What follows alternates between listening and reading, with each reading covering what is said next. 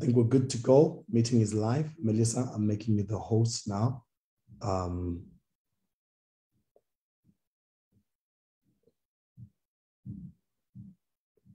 go ahead.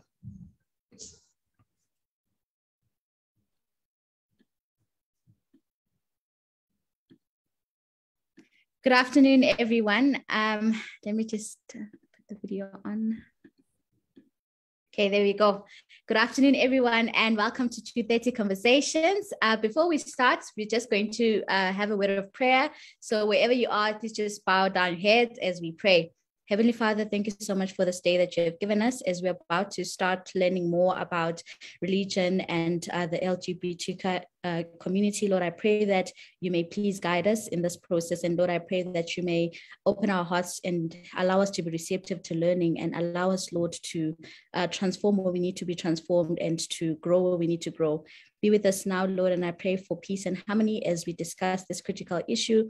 I pray, Lord, that uh, we may all uh, contribute positively and that, Lord, you may guide us throughout the whole process. In Jesus' name I pray, amen. Okay, uh, once again, welcome. Welcome, everyone. Our Facebook community, welcome to you as well. This is 230 Conversations, and you know what time it is. We always here with the with the stories, with the topics, with with with interesting you know opinions and views from everyone. So uh, please remember that you have to be following us on our youtube channel on our facebook tiktok instagram so that you don't miss out on some of the announcements or the topics that we have to share with you guys. So please please please make sure that you're on all the platforms and you're following us. Okay so today we are having religion and lgbtqi community. Okay it's such a like there's so many letters. That's why it's also known as the alphabet community. So um i think the the, the speaker will actually break it down for us what the lgbtqi means. Uh, i'm just going to try and say uh, the l stands for lesbians gays bisexual transgender queer and i'm not sure what the last one stands for. So uh, I, that's why the speaker is just going to take us through and educate us today what the the whole alphabet actually stands for and what this um, how do we com- uh, you know combine religion and how do we uh, you know live with with this type of community and how do we learn to you know share our views in a positive light. Then next week we're going to have religion and spiritualism and that is going to be usandile t siaya and the following week we are going to have the entrepreneurship, the practical guide from Mr. O. Chakarisa. Um, the following week, we are going to, uh, you're going to get the topics as we go, right? So please remember that we are trying to talk about every critical societal issue. So some of the topics may spark, you know, debates and all that, just like the one of today. So just to go back again to the topic of today and the speaker, we have Ukulufelo Mphahlele, and he is going to be speaking on religion and the LGBTQI community. I need to stress this uh, before we start. Please note that um, we we are aware that this is a very sensitive topic, and that we have put a disclaimer disclaimer so that we, you know, we don't find ourselves in trouble. The views expressed during the conversations are of those of individuals.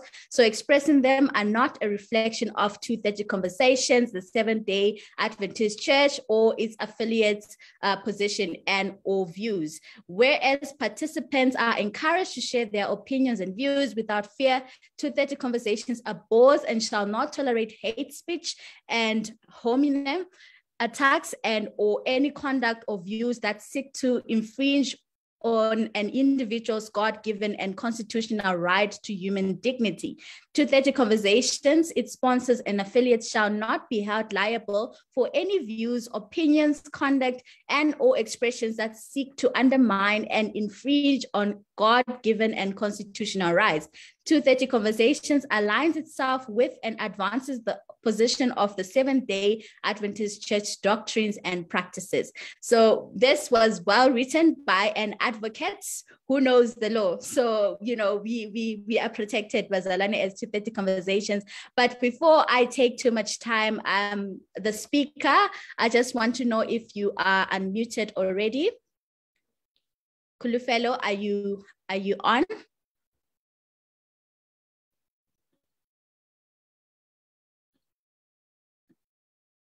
Okay, do I have to unmute? Let me just find you.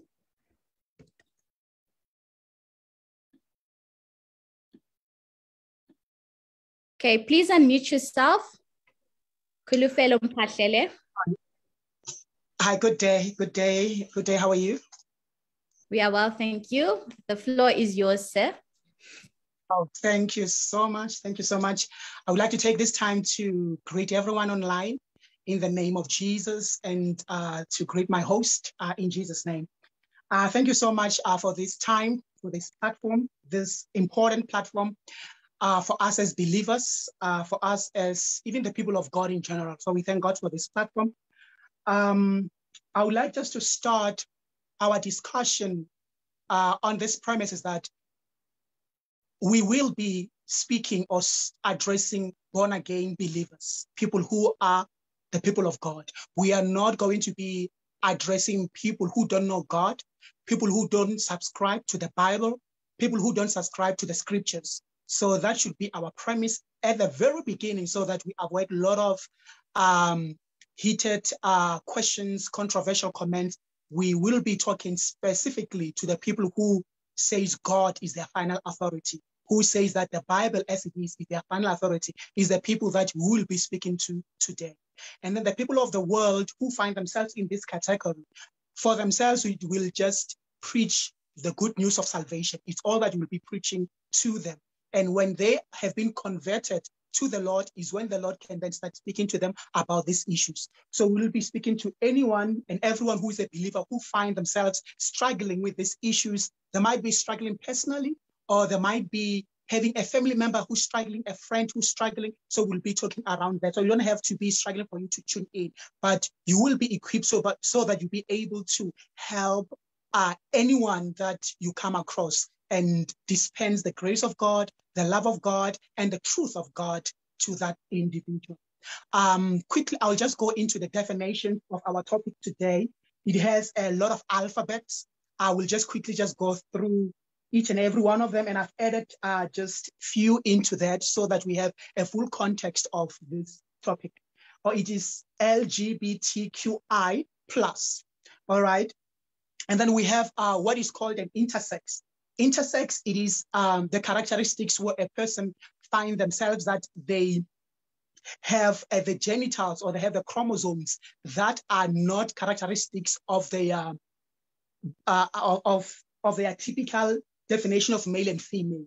You find that the person they come out, they look like a girl, but then they're not a girl, or they look like a boy, but not a girl, but anatomically and physiologically. That is an intersex. Then uh, we have a sex in itself. A sex in itself, it is a, la a label that is assigned at birth on a child when they are born. And when that child is born, the nurses will take the child to the mother and say, what do you see? Pointing at the genitals of the child. And the mother will say, I see a baby boy, I see a baby girl. That is what we call sex. And then we call, uh, we have what is called gender.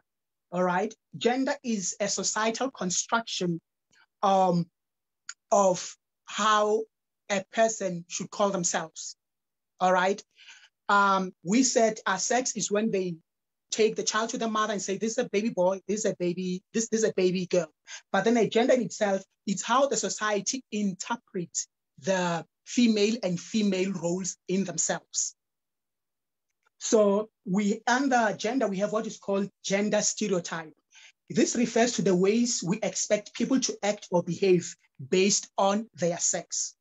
And then we have what is called gender identity. In gender identity, that child who has been uh, presented to the mother and the mother says the baby boy, then that baby boy will be given a chance to choose for themselves which gender they associate themselves with. They might be seeing themselves as a baby, there might be a baby boy anatomically, but then when they search themselves internally, they feel like I, I feel like I'm more feminine. Then that is a gender identity, how they're identifying themselves gender-wise. And then we have what is called sexual orientation. Sexual orientation, it is the sexual attraction. Um, whether the person is attracted to the same sex, to the opposite sex, or all sexes. And then we have a queer, which uh, describe many ways people use to reject a binary category of gender and sexual orientation. All right. And then this again can be the umbrella term for LGBTQI community. And then again, we have uh, a gay, all right, it's a sexual orientation of a person who they are sexually attracted to the person of the same sex. And then that mostly refers to the male gender or men. And then we have lesbians is the same one, but then it is when there's sexual attraction towards a woman. And then we have a bisexual, which is attraction to both uh, male and female. And then we have a pansex, is being attracted to all different kinds of people, all different kinds of gender is pansex. And we have what is called asexual. It may be, the person may be attracted to the people, but not desire to have sex with them. And then we have a transgender. It's a person who feels that they are finding themselves in the wrong body. They, they, they have the anatomical physique of a male, but then they identify themselves as a, as a female. So they are trapped in the wrong body. All right. Uh, this definition, there are many. I'm not going to say all of them because of time. And then I would like us just to look into Romans 1, Romans chapter 1. In Romans chapter 1, the Lord describes um, the state of a fallen man. He says that man falls to a place where um, they no longer um, they no longer desire to have sexual relation with a person of the opposite sex? And then they and then the female as well they no longer desire a male. And then the lord goes on and mention other sins. It is important for us to read all those other sins that the lord mentions. All right. He says that being filled with all unrighteousness sexual immorality wickedness covetousness maliciousness full of envy murder strife deceit evil mindedness. Uh, they are whisperers, backbiters, haters of God. And in the prior verse, it says, likewise, also men living the natural use of the woman, bent in their lust for one another, men with men committing what is shameful and receiving in themselves the penalty of their error, which is which was due. All right. With that point, when you read the whole chapter going down, it's it ends by saying that um, there'll come a time where men will fall so much, will fall so much that they will invent new ways of sinning. And that is an operative word. They will invent new ways of sinning. And after inventing new ways of sinning, they will encourage other people to join in. Hence, I'm saying these letters are so many. And let me assure you, these letters will be increased if the Lord tarries. If we stay longer in this earth, uh, let's say maybe 30 more years to come, these letters will increase. Why are they increasing? Because men will be creating more ways to disobey God. So therefore, we won't go into all of them because it's just a progression of the fallenness of men. All right. And then I would like us just to have this as, as where we are starting, like where we are starting. All of us in this platform, or most of us in this platform, are believers. We have subjected our life under the authority of the Lord Jesus Christ. We have given our lives to the Lord, and then we have decided to say that the Bible, we that the Bible is the highest authority in our lives. All right. So as we begin this conversation, after we have looked into the definitions of our topic today, so I would like us just to move with this very important point that the Bible is the highest authority in this discussion that we're having today. All right, I'm going to say that again. The Bible, the Word of God, it is the highest authority in our discussion today. I won't be giving Fellow's opinion. I will, I will not be giving Sbutis's opinion. I won't be giving Melissa's opinion. I won't be giving anybody's opinion, but we will be giving what God thinks about this issue. And I would like to ask everybody when we're asking questions, when we're engaging, to always go back to the word and not say what we think, because we think so many things and we are clashing. And uh, my opinion cannot give anybody life. And your opinion doesn't have life. Only God's word, which is the highest authority, has life. So, as believers, can we establish that the Bible is the highest authority in this conversation? And then the Bible is still relevant even today. Yes, the LGBTI community, they've tried to revise the Bible and say the Bible is not relevant. The Bible is taking them out. The Bible is uh, kind of condemning them in a way. They kind of revise the Bible. They try to do that because there are other versions of the Bible that have been changed. Where the Lord says, do not do this, they change it in another way. They've interpreted the Bible in some Bible verses in another way to suit them. But then I would like us to take this message home that the Bible is still relevant to us today, raw as it is. All right. Somebody might say, but Kholofelo, things change, season changed, eras change, people come, technology comes, uh, uh, science comes. We, we are always evolving. So when we're evolving, why doesn't the Bible evolve with us? And that's a very important, uh, important uh, uh, question right there. All right. The reason why the Bible doesn't evolve with our evolution, it is this one reason. The only thing that remain constant in me and in you is our nature. Our nature doesn't change. Our fallen nature is the same nature that Adam have, that the people of the Old Testament have. Those who lived 2,000 years ago, they had the same nature that you and I have. And then even after long we have passed, I have passed 2,000 years to come, if the Lord tarries, the people, those will be in that era, they will be having the same nature of fallenness like me and you, the same nature described in the Bible, all right? The same nature described in Romans 7, okay? So if we're having the same nature, that doesn't change. Therefore, it means that the Bible should not change because the Bible is the one that is addressing our nature, that is uh, helping us how to subject our nature to the death of the Lord Jesus Christ. All right. I hope that is clear. So the only thing that is changing is technology. Technology, as we know it today, it will be quite different in 10 years to come.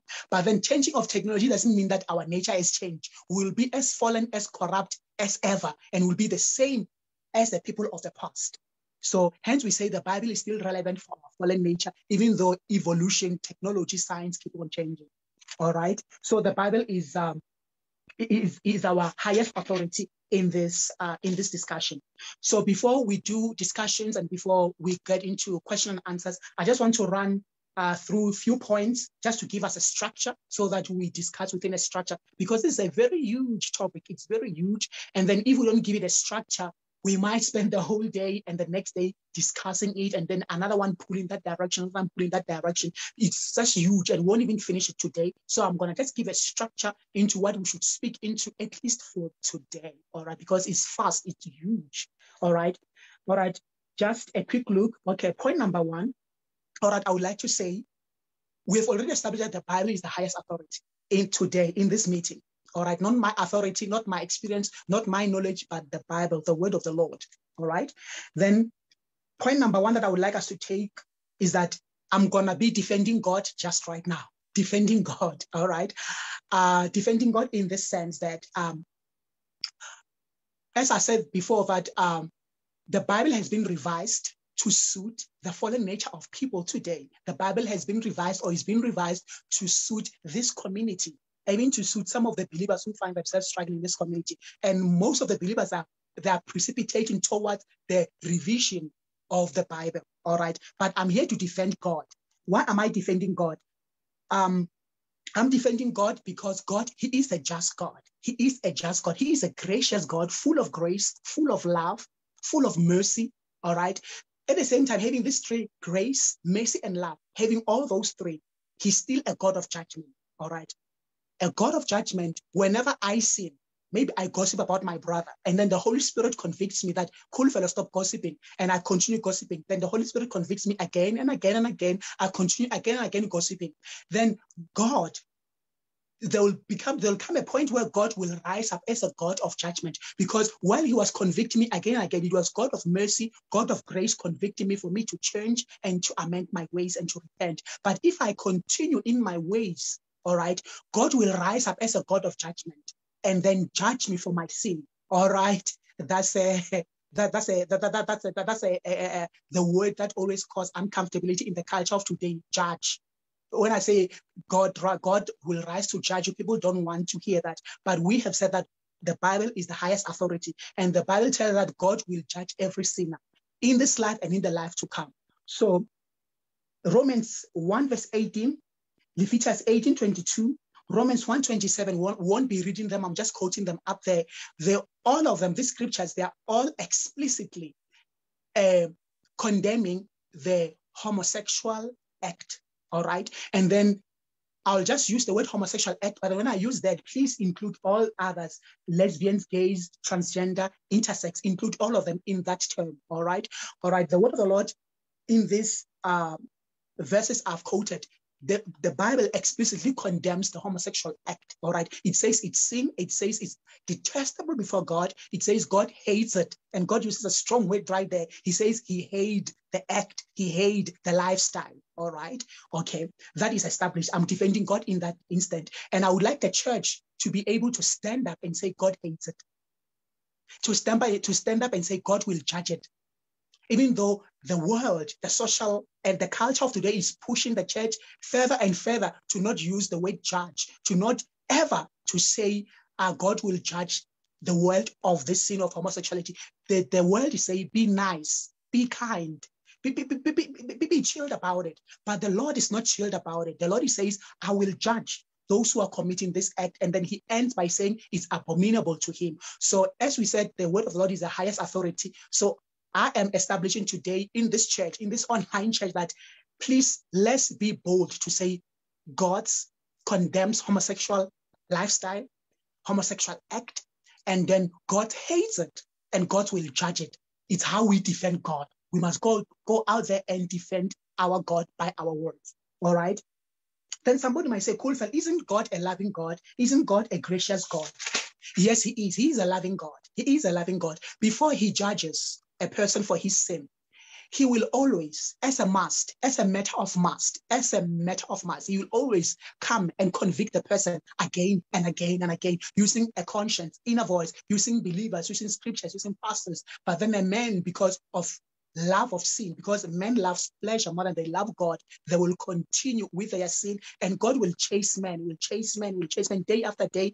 But then there will come a time God say, "It is over now. I have to meet uh, a judgment right now. I have to rise up as a just God and judge this sin because I have wrestled with men for some time. All right. So, yes, God is a loving God. He's a gracious God. He will always chase, he will always chase you to the end of the earth. I, I want you to have that in your heart that God will always chase you to the end of the earth to win you back to himself to draw you back to himself, to love you, to, to, to, to, to love you, to, to, to, to, draw you into himself. He'll always do that. And he'll always avail his grace and mercy to help you with any struggle that you're having, with any sexual struggle we are having. All right. That's where you see the love and the mercy of God. It will chase you for a longer time before judgment comes. All right.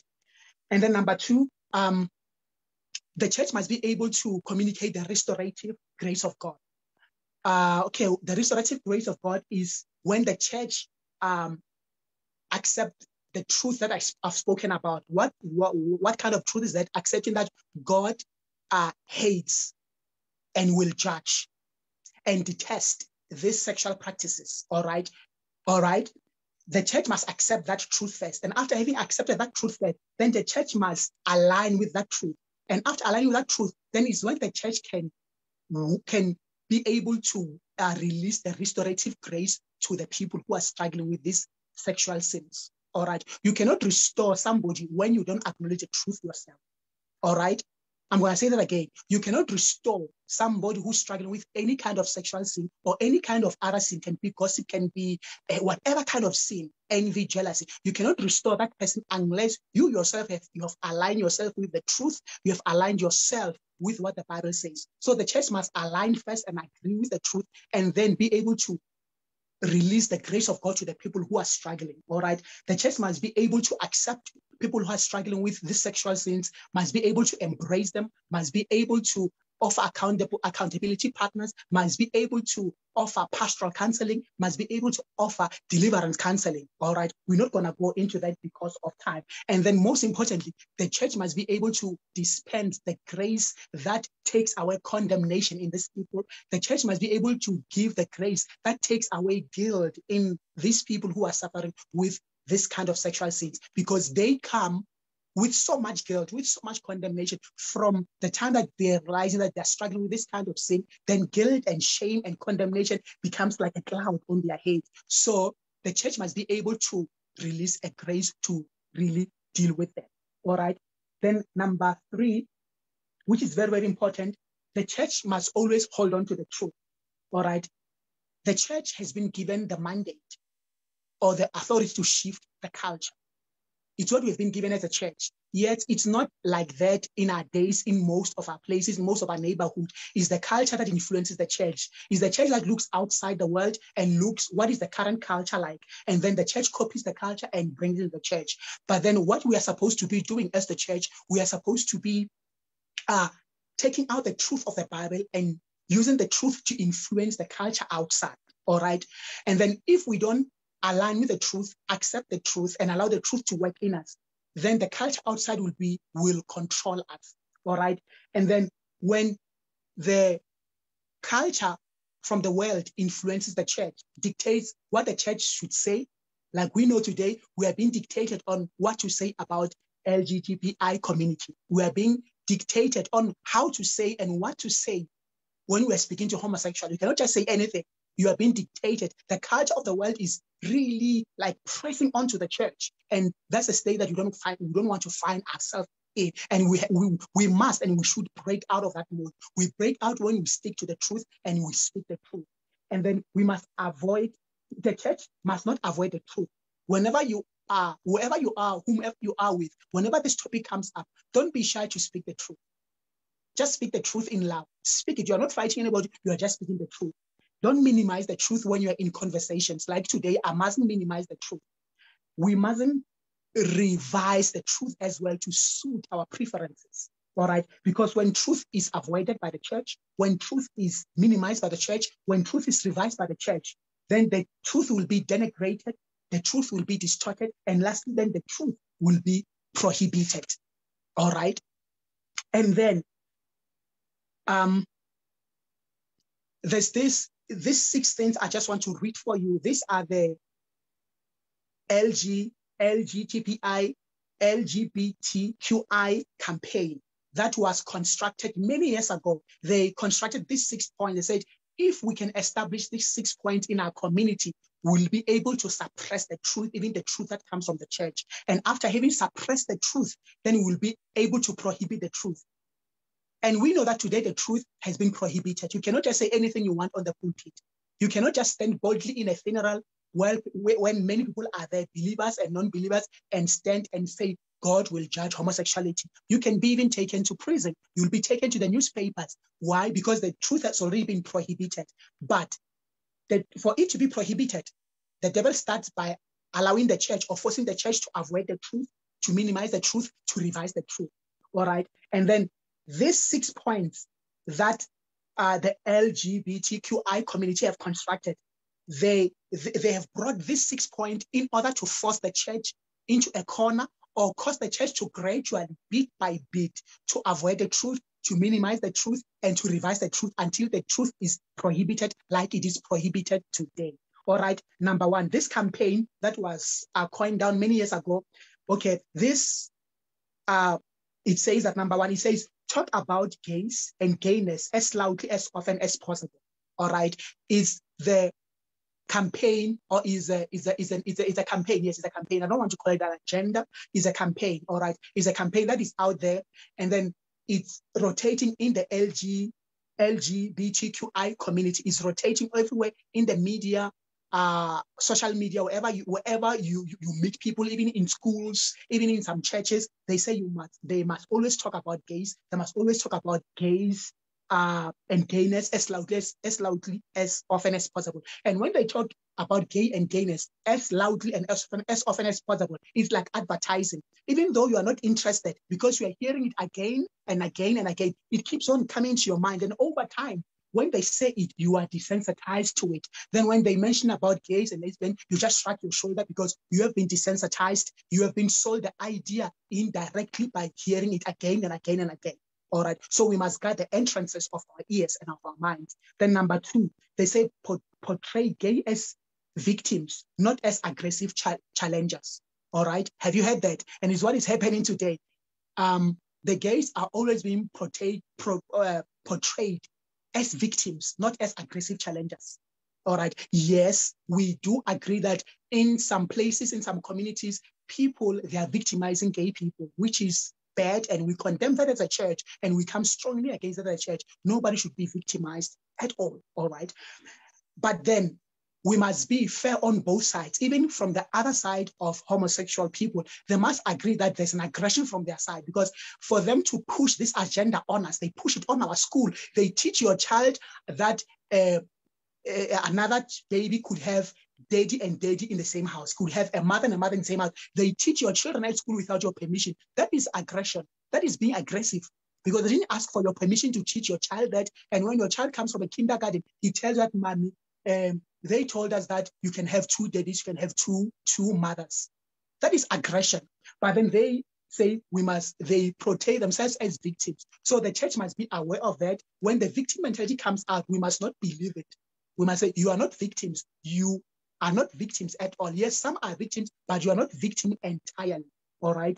Then number three, it says, give protectors a just cause. A protector is government because now they've made them victims. Then when the protector comes to protect them, they can do whatever they can do to protect the people. They can even take the pastors to jail. They can even take a mother to, to jail, a mother who says they don't want their child to uh, do a sex assignment. If the child says, okay, he's a boy anatomically, but then he says, I want to change into a girl, and the mother says no, that mother can be taken out of the way and say, let the child do what they want. All right. So the protector comes and do whatever they want at whatever extent. Why? Because they have won the victory of portraying themselves as victims always, even though it's not entirely that. All right. Then number four, make gays to look good. All right. That is very obvious. We see it in our workplaces, on social media, on TV.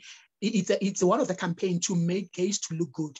Why do they look good? So that they be attractive. When you see their lifestyle, you say, wow, okay. Then when our young people uh, those who are coming of age and those who are still uh, realizing, realizing themselves sexually, when they see them looking good, looking nice, and driving expensive cars, say, that is a good lifestyle. I want to join that. That is not a good, that's, that is not a bad idea. I can be part of that. All right. So that is a tactic as well to make them to look good. All right. Then number five, make the victimized, make the victimizers look bad. We have already covered that. All right. Then solicit funds that is happening all over the world. The last point is that this campaign, it solicits funds. These funds, they go into LGBTQI community. And then these funds, they are they are used to make movies, the movies that promote this, the movies and the books and anything that can promote this, it goes into this to support this. And when you have money, you are more stronger. All right.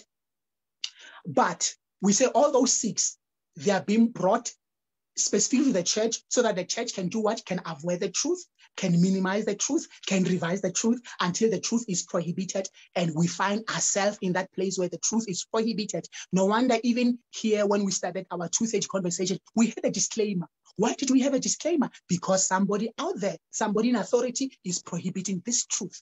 They have won the battle. That's why we're having disclaimers. We were not supposed to be having disclaimers in the first place but we are having them because the truth has been prohibited. But then may the Lord may help us as a church to rise up with the truth and say, Lord, whatever we have avoided, whatever we have minimized, whatever we have um, uh, uh, revised, Lord, help us to take it back to where you want it to be. All right. All right.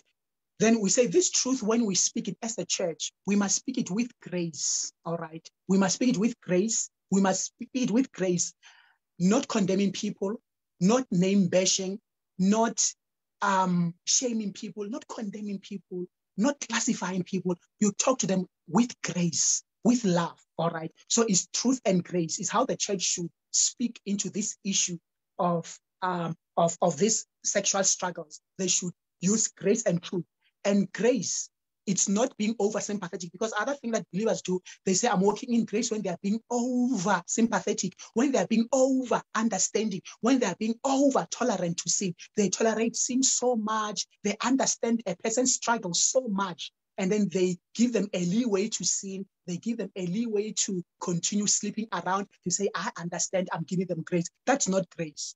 Grace says, I understand your struggles and I sympathize with your struggles and I'm praying for you and I love you and I'm here for you to support you, to be with you. And I am here as well to speak the truth of the word, what the Lord says. You might not like it, you might not approve of it, but I will speak it. At the same time, I will love you. And most importantly, I will protect you from any victimization. All right. Then the church must receive, okay, the church must receive the homosexual struggling people. And then we have what we call homosexual struggling, and we have homosexuals. Homosexual struggling is a person who's conflicted about their feelings. Okay, they are having the homosexual feelings, but then they don't like it. They don't like the way they feel. They don't like that they are attracted to the same sex. They don't like it. They are conflicted. We call them homosexual struggling. But then a person who has accepted it and then they like it and then they practice it, that people, that person is not struggling. They are living it is their lifestyle. So that so believers who are born again and saved and they're in the church, they are the ones who are struggling. And the church must have enough love and enough grace to receive them in. And then when we have received them in, we must be able to uh, lead them into repentance. We must be able to uh, uh, give them the pastoral counseling. We won't go into that. Give them a pastoral counseling, give them the support that they need. All right. And then uh, we need to encourage them to pursue holiness and then we need to encourage them to renew their mind. All right.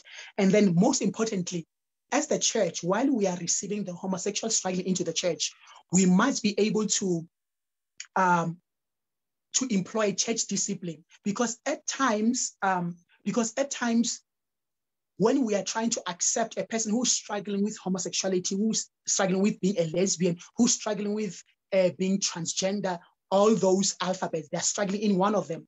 And when they are struggling, um, sometimes some of them, not sometimes, some of them we find that they are struggling, but then some of them they decide to sin intentionally and intentionally as an operative way. They sin intentionally going around, sleeping around, and then they come to church, sleep around, come to church, and then the church becomes aware. So the church must install a church discipline, must not be over sympathetic and say we are using grace, we're not going to say anything. The church must sit the person down, speak to the person, follow the whole protocol of excommunication. And when the person is still rebellious and they want to continue in their ways, in their sinful ways, then the church must excommunicate the person. And then if the person still continue with their evil ways in the church, not wanting to repent even after being excommunicated, then the, then the church can regard that person as an unbeliever. So the church must not shy away from church discipline, not uh, shying away in the name of we will be judged by the world. The world will say we are homophobic because the, the culture of the day, they're using homophobic as a bullying tool. They use it and they bully the church, not the church to stand for the truth. They say, when you stand for the truth, you are homophobic. When you express the truth, you're homophobic. When you live the truth, you're homophobic. It's like a, a, a, a bullying baton. They, they whip you with it whenever you try to express the truth. All right. So the church must not be afraid of that. The church must just stand up and stand out for the truth and implement the church discipline.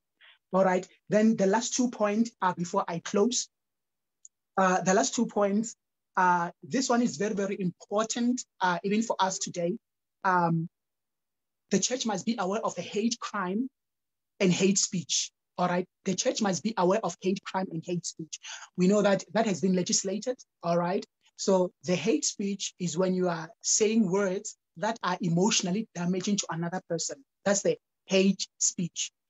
The words that are emotionally damaging the person and they make a person to lose their integrity. And then we have hate crimes when you are doing something by action, they damage somebody's property, you cause physical injury. That is um, hate crimes. So hate crimes and hate speech, they've been legislated. And those that legislation is there to protect the minority groups, all right, or to protect the victimized groups, all right. And then this community, it falls under that minority group, which is under question, in my perspective, is under question if they are really, really under, they are really, really a minority, all right.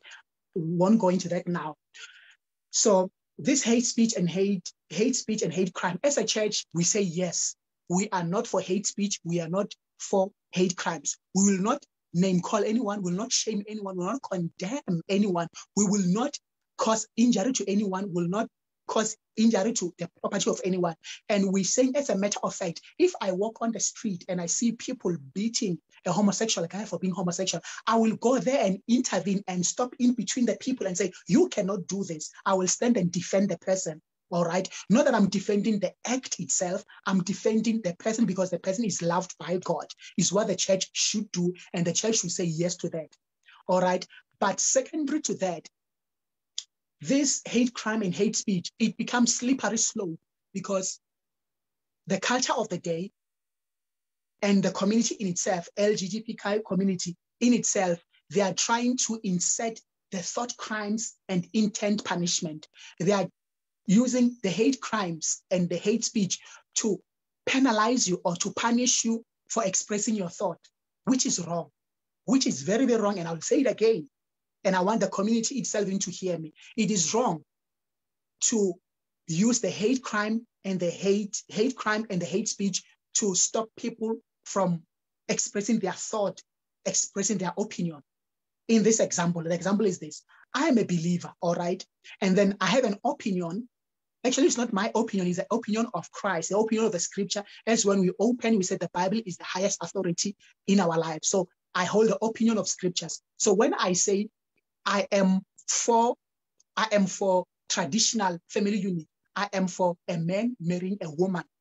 And I am not for men marrying a man. I am not for women marrying a woman. I am not for that. But I am for husband and wife. And then I am not for a man sleeping with another man. I am not for that. That is my opinion. I should be allowed to express that opinion because by expressing that opinion, I'm not hating anyone. I'm not causing emotional injury to anyone. I'm not causing physical harm to anyone. It's just my opinion. And even them in their community, they must say what they think about what they do, what they are for and what they are not for.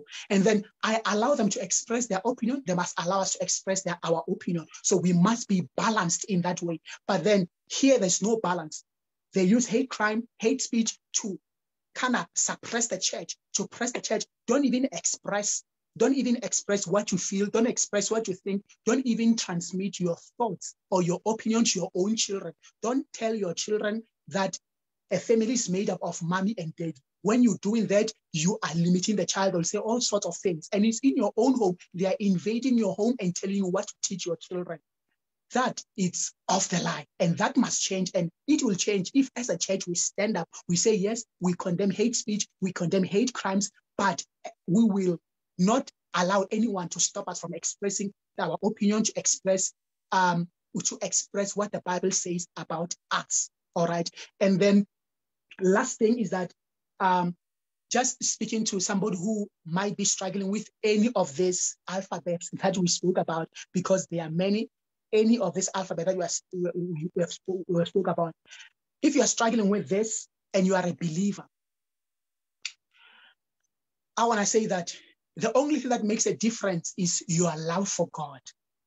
And I always, when I counsel people, I always try to detect, I always try to see if this person really, really loves God. And if they really love God with all of their heart, with all of their mind, I know that they will be okay. They will come okay.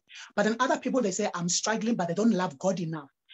If you don't have too much love for God, if you don't have the burning love for God, you won't be able to stick it out in the counseling process in the process of coming out, in the process of being processed out of this alphabet, you won't have the stamina, you won't have the endurance to stick it out. So I'm saying to you out there, pray that Lord, burn your love into my heart. Help me to love you more so that I love you so much that I will do anything to get out of this. I'll do anything and I will enjoy anything. I will go I'll go through any process, no matter how long that process takes, no matter how painful that process is, I'll go through that process because I love you, God, and I want to obey your commandment. And my motivation for uh, coming out is because I love God. It's not because of my own comfort. No, it's not for my comfort. It's for my love for God. And if we pin it down for the love of God, that I love God so much, I want to do right. I love God so much that I wanna, I love God so much that I wanna live right. I love God so much that I don't wanna hurt God. I don't wanna disobey the standard of His words. You will be all right. And then when we walk with you in a pastoral counseling, you will do well. And then we will not go into how we'll go about when we are helping a person out who's struggling. That is a whole lot of process that will only speak with a person who really, they really, really need help. But then it take a message that you should take home is that pray say, Lord, I'm struggling with one, two, three. But as a first and foremost, burn me with your love. And when your love is burning in my heart, I will stick it out, I'll go through, and I will go into the ends of the world with you. And I know that I will be fine. All right, I will stop it there. And thank you for your audience. Thank you so much.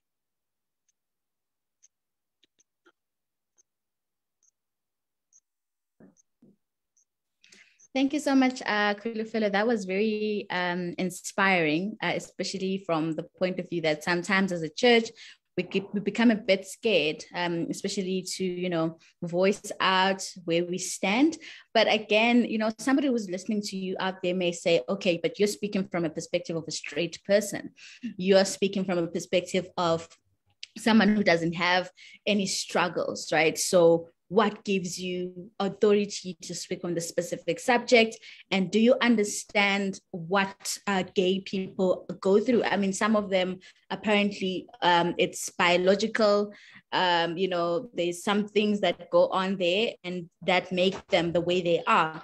So do you perhaps have any uh, you know personal experience to draw from from um, or you know so that we don't uh, speak as those that are not inclined or fully understanding the nature of uh, you know the lgbtqi community. So yeah just just before i read the comment section because i can see it's burning with a lot of comments and uh, questions as well i just want to find out from you um, is there any uh, personal experiences you can draw from or is there or are you speaking as a straight man and you are you know speaking from the knowledge that you you have pro- probably from church or yeah Oh, thank you so much. Uh, thank you so much. And thank you, everybody. Yes. Uh, all right. Um, I would like to say that this is very, very important for everyone. Uh, I would like just to address this just once and for all. It's very, very important for everyone, even for me, all right, even for me as believers, because now we are addressing the believers. We are not addressing the world, all right? It is very, very important to understand that the Lord has instituted a church and and on the church, he has given fivefold ministers the pastors, apostles, prophets, evangelists, and teachers. And then he has said he has given these fivefold ministers grace to build the church. He has given them grace and gifts and anointing to build the church, to cleanse the church with the word, to restore the church, to deliver the church in any area of struggle. Be it gossip, be it jealousy, be it depression, be it suicidal thoughts, be it uh, even in the sexual issues. All right. And then how the Lord did it, because we must do things how the Lord did them, not how we want things to be done. Okay. So the Lord has given them authority and grace for them to equip the church and to restore the church. And then he said they will do it through the anointing, through the mantle, through the gifts, not through the experiences. Yes, experience, personal experience is very important. Personal testimony is very important. But personal testimony experiences, they must not be above the word. No, people of God, personal testimony, personal experience must not be raised above the word to say, I will believe it when I see it, personal testimony all I've been doing, I've been quoting the scriptures. So you must believe what the scriptures say. And then when I come with my testimony, it's just a confirmation, it's just an addition. But you don't use my testimony or my leg of testimony to disqualify what I have said. That is very, very wrong. I'll give you an example, an example that even touches home. All right. I've seen many people as a pastor who suffer from suicidal thoughts. Ne? Then when other people they try to when god actually when god sends other people to speak to them to release a word that can deliver them from suicidal ideation all right?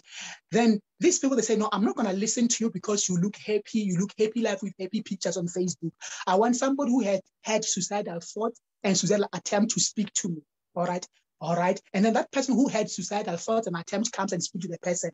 You know what i've seen after the person after they've had a personal testimony of a person who had who had had the same suicidal thoughts and depression the same person they don't change. They don't get delivered. They go and kill themselves. So what was the use of them rejecting the counsel of god on the premise that the person doesn't have experience they are happy? Because they punish you they punish you for being happy. You cannot speak into their life because now you are happy you, they must be spoken to by the depressed. When the depressed come they don't take it they still kill themselves. So before I give my personal experience, I just want to say to the body of the Lord Jesus Christ, let's raise the Bible above our testimony. Let's raise the testimony of Jesus above our testimony. Hence, I don't like to even go to my personal experiences when I speak about these issues because I lift up the testimony of Jesus far above everything. And the authority of scripture is final. And the authority of scripture can deliver you totally and completely. It can and it will. You don't need a testimony. That is just a confirmation. All right. And to answer your question, yes, um, I, have struggled with uh, homosexuality for quite some time. I have struggled with that in my developmental years um, from, yeah, maybe eight, nine, 10, yeah, somewhere there, yeah, eight, nine, 10, when I was coming off into, um, coming off into myself and coming into the, the, the alignment Uh, coming into my, my, my, awareness as a person, yes. Then I struggled with that for quite some time. And then I grew up in a traditional church, a church that loves the Lord. They love the Lord. They speak the scriptures, nothing but the scriptures. But then it was back in the days, and then you cannot speak to anybody about that because it's not spoken in the church. No one is speaking about it. And it seems like no one is struggling with it. When you look around, it seems like no, everyone is okay. And then they think I'm okay. And then you just keep it, you just keep it into yourself. But what helped me, as I said with my last statement, you must love God too much that you will do anything to come out. You'll do anything to be processed out. What helped me it was my love for God. I really love God above everything. I love God above any pleasure. I love God above any pleasure of sin. I love God above everything. And that love, that burning love, kept me pushing, kept me asking, kept me inquiring, kept me praying until God finally brought me into a process where He literally took me out and brought me into a place where I am right now. And I can tell you that it's a good place where I am right now. But then the key is you gotta love God more than any other thing. But let me tell you that even let me tell you this that even many for let me tell you this, all right. Many people, even after watching this testimony, seeing me like this as a married guy, I'm a married guy, I'm a happily married man. I've been married for seven years. I've been married for seven years to a very beautiful woman, very beautiful woman, a woman who fears the Lord. We've been married, we've been happy, we've been content, we've been like a, we, we have a godly marriage, like godly, godly marriage, and I'm content. I don't want to go back. Going back is not where I'm going. It's not where I'm going. I'm not going back because I love it here. So, uh, I, uh, um, so I want to say that um, many people, after hearing this testimony, many people who are struggling with homosexuality, who are struggling with being a lesbian, who are struggling with all those alphabet, after hearing this, this testimony will, will help them out, will not push them to go and find help, will not push them to say, Lord, I need you, will not push them to live a holy life. They will continue their struggles. So they, they are lying when they say want to hear your personal testimony. It's just a curiosity to, to just to hear what you have gone through. But then it's not that they're asking from a place of wanting to change. Because a person who wants to change, when they hear the word, the word will convict them and they'll cry and say, Lord, your word is final. I believe your word. And for me, I didn't have anybody's testimony. No, I didn't have anybody's testimony. I had the word, only the word by myself. I had to dig into the word by myself. And I said, Lord, I believe your word. I remember praying as a young boy, I said, Lord, I believe your word. And when your word says you don't like this, you don't want it, and there's help, Lord, I believe your word, and your word will take me out. And the word took me out, and I didn't wait for anybody's testimony. I didn't have anybody's testimony. I didn't have anybody I knew. You get it? So it is a lie. So I'm just rebuking that even on this platform. You don't need a testimony, you need to obey the scripture of the word. The testimony of a person is just to confirm what has already, what is already happening in your heart. All right, I will just uh, leave it at that. All right, thank you so much. Thank you so much uh, for answering that question. I'm just going to take a few more hands. And for those that may have been, you know, commenting under the impression that, you know, you're just bashing or you are you're not coming from a point of, you know, your own story where you've overcome and where you've drawn your own lessons. Um, I hope that that was also uh, picked up from this answer.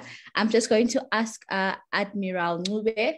I'm going to unmute you um, and then we'll go to the comment section. I see there's a lot of comments. We will get to that. Some of them may not be read out, but we will try and do our best. Okay, Admiral. Thank you so much. Can you hear me? Yes, we can.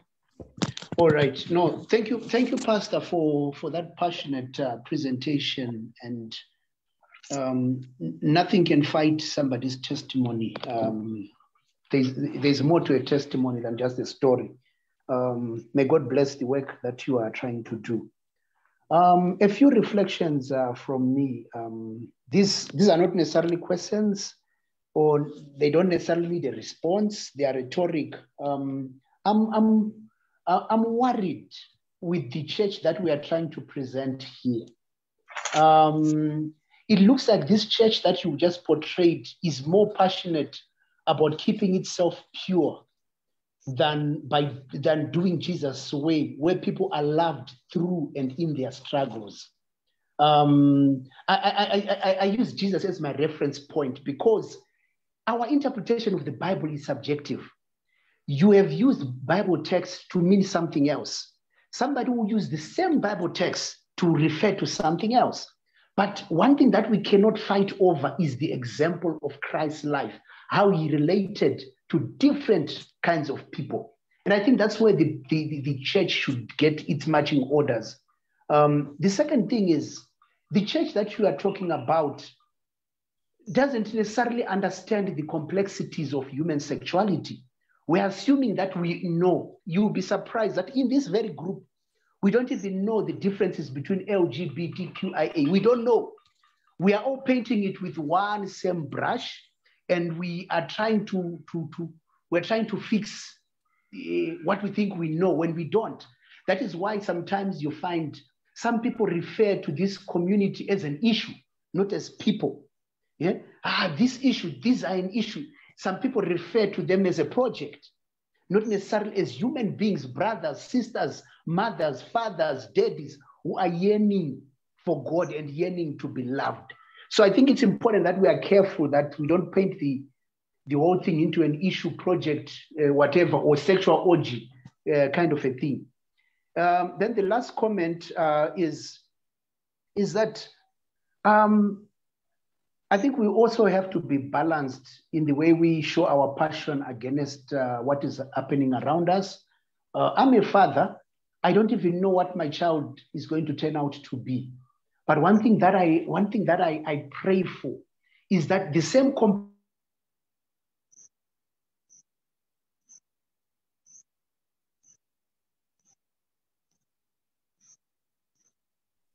Okay, um, I think you went off a bit. Is it just me? So all I'm saying is let's let's oh you lost me. Yes, we're back. We're back. Oh yeah. No, I was I was saying um my my at the end of the day, my my prayer and my wish is um you know, as somebody commented in the comment section, that uh, the struggle that that that uh, the, this community is going through, you find that probably it's the struggle is not so much with their sexuality, but it's our our bigotry, our intolerance, our hate, all these toxic attitudes as a church coming from Christians who are supposed to exhibit Christ's love. That's where their struggle is to reconcile people who claim to be following God and the way they treat them. I think that's where the struggle is. We can spend time trying to fix people using verses, but there's nothing that would fix a person better than when you show that you love and you care for them. So, so I don't agree, Pastor, that there's too much love. There is you're, you're, you're being indulgent, you're overly empathetic. I don't agree with that. That's what the world lacks, and that's why the church is disgusting uh, because of these uh, straight jacket attitudes. So, so, so that's where my concern is that we, as a church, we need to be a place where people feel loved in and through their struggles. If we should make it easier for people to meet Jesus, but if we start putting truth and rules and barriers and barricades, I'm telling you, this place, which we are saying the church, the church, is going to be disgusting and unchristlike. Thank you. Uh, oh, thank you so much. Uh, thank you so much for your comment. We appreciate it. Um, just, um, just in passing, because we don't want to be talking to and fro, we want to give other people a chance.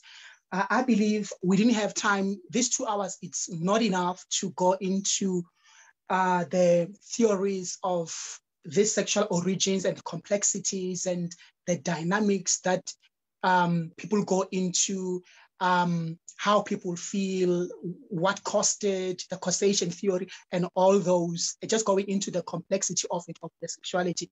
I have my notes here, but I didn't want to go into it because time doesn't allow us to do that. The reason, the other reason I didn't go into that is that it doesn't matter what cost one to be in this category.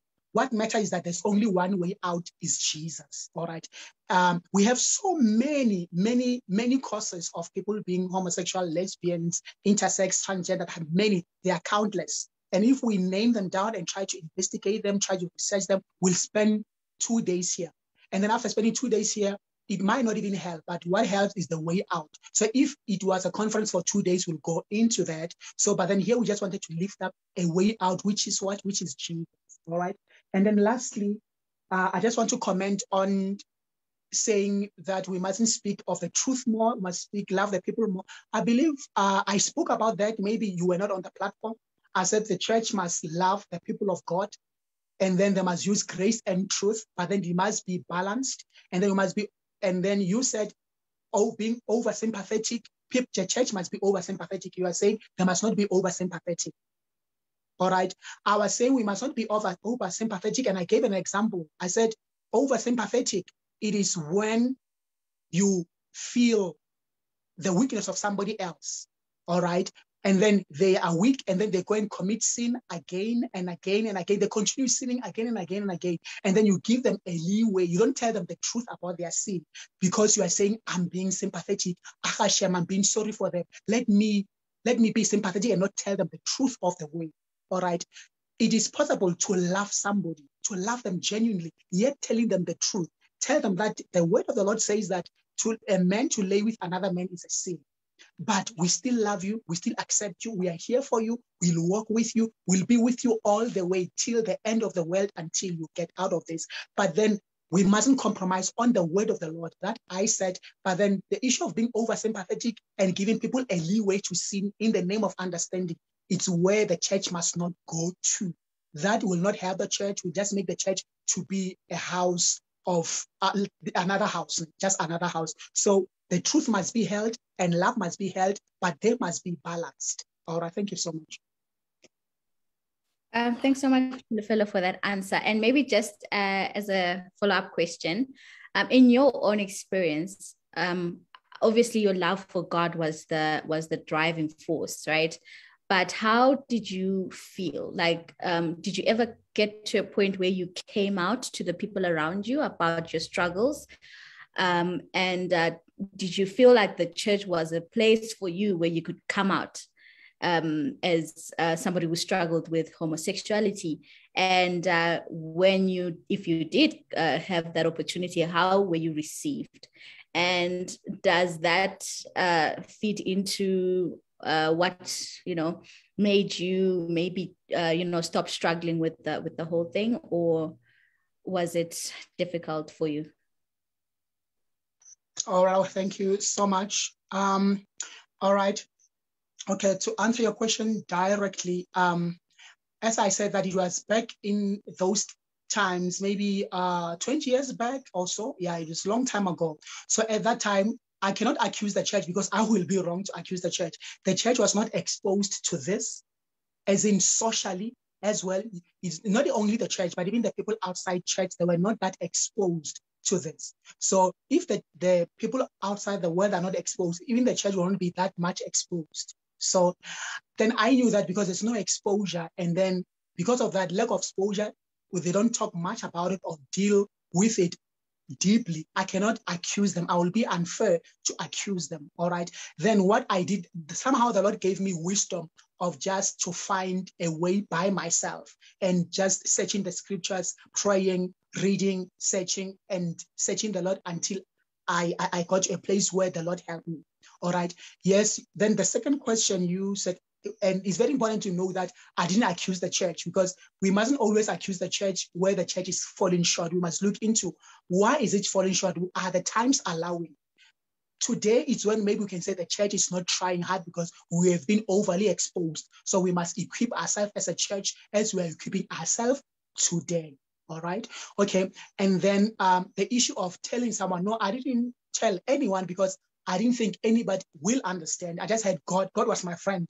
He was a friend that's closer than a brother. He was just my friend, just who knew what I was going through. And then the Lord was just helping me that just, just one or two friends knew about that. Just one or two friends who were very close. Then we were praying about that. And they really accepted me. And then they really, um, they really worked with me and they really showed me the love of the Lord in that regard. And I thank God for that because even if even if it was at that time, there was just a remnant that the Lord separated that can be able to walk with you in love. All right. And then for today is a different story.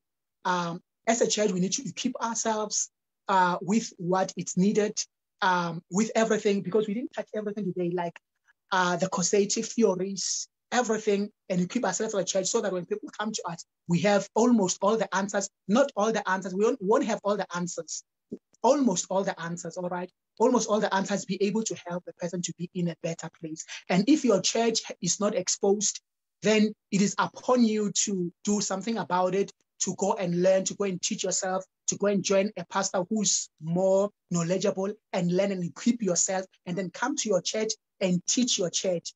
And then I want to say, avoid this thing of blaming a church for not knowing. They don't know.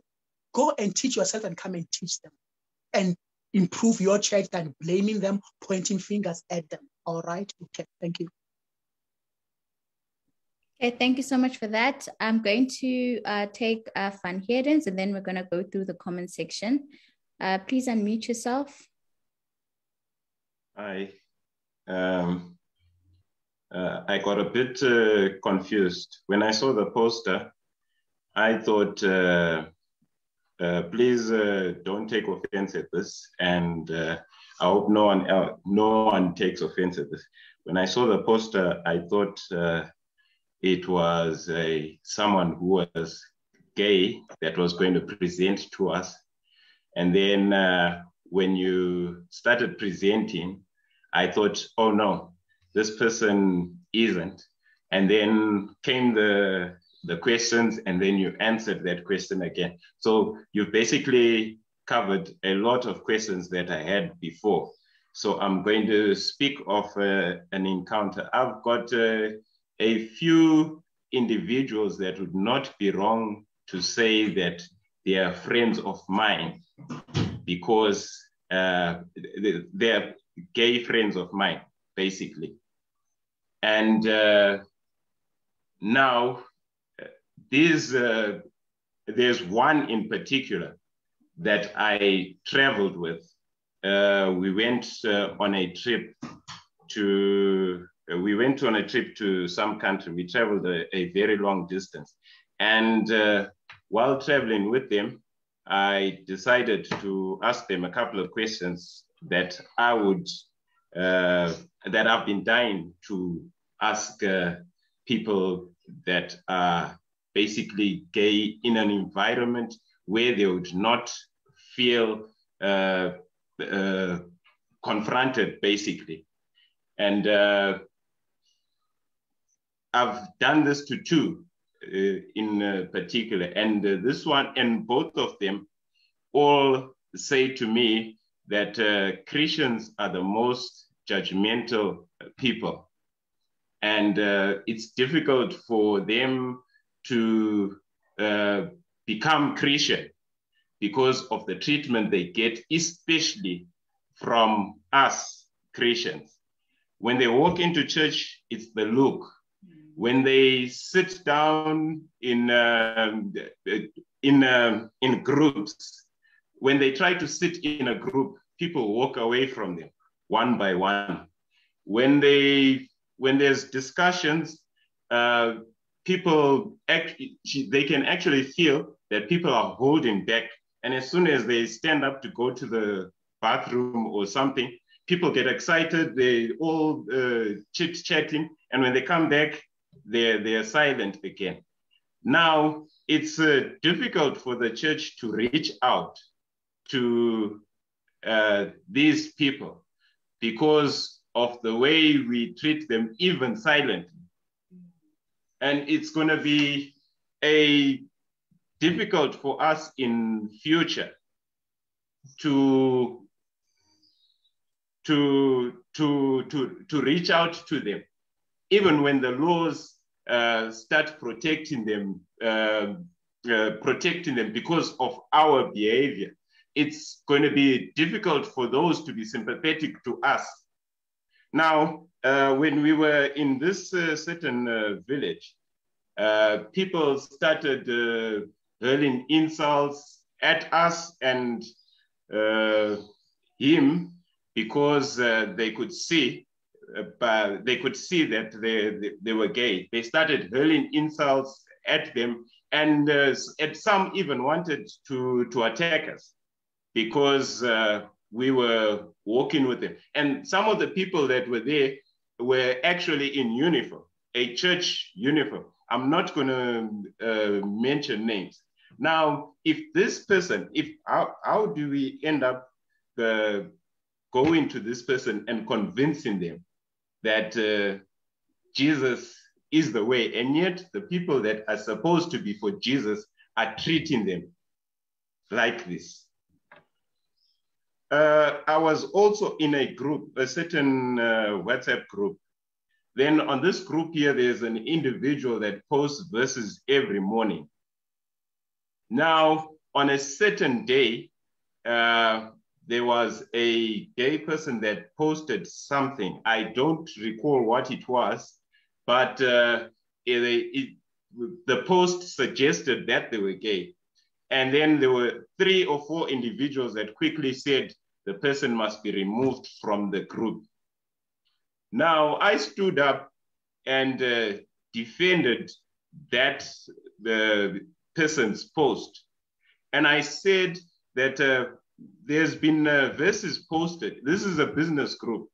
There's been someone posting verses, and it's not related to the group. It's uh, not the, the group related. They've been posting verses every morning. No one complained. But today, because this guy has posted, why is everyone up in arms? If this person should be removed, I, I need to protect this person's right to post that because uh, tomorrow it is going to be me who is going to be bullied out of out, out of this. They uh, and uh, to this day, that person has been uh, kept in the in in the group. I it does not mean that I subscribe to whatever they believe. No, it is just the unfair treatment that they should not be, be getting. And the sad truth is that they even getting it in our church.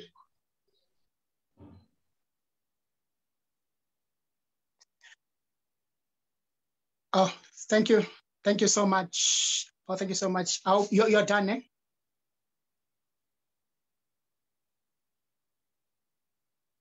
Hello? I think he's done, yes. Oh, he's done. All right, okay, great. Um, just a quick comment, then we go to the next thing. Um, yes, thank you for your comment. Um, just a first a comment that you raised that you thought the person who was coming here was homosexual, and then you realized, oh no, it's not. It's fine. No, it is fine. No, no offense about that. No offense about that. The love of God reigns in this place. The love of God reigns in this place even whatever it said, the love of God is cushioning us. Yes, uh, it boils back even to what I've said when I spoke that we don't need a person who has experienced what you experience for them to speak. If you are having depression and God sends somebody who is happy to give you a word of encouragement, receive that word because it's the word that encourages you.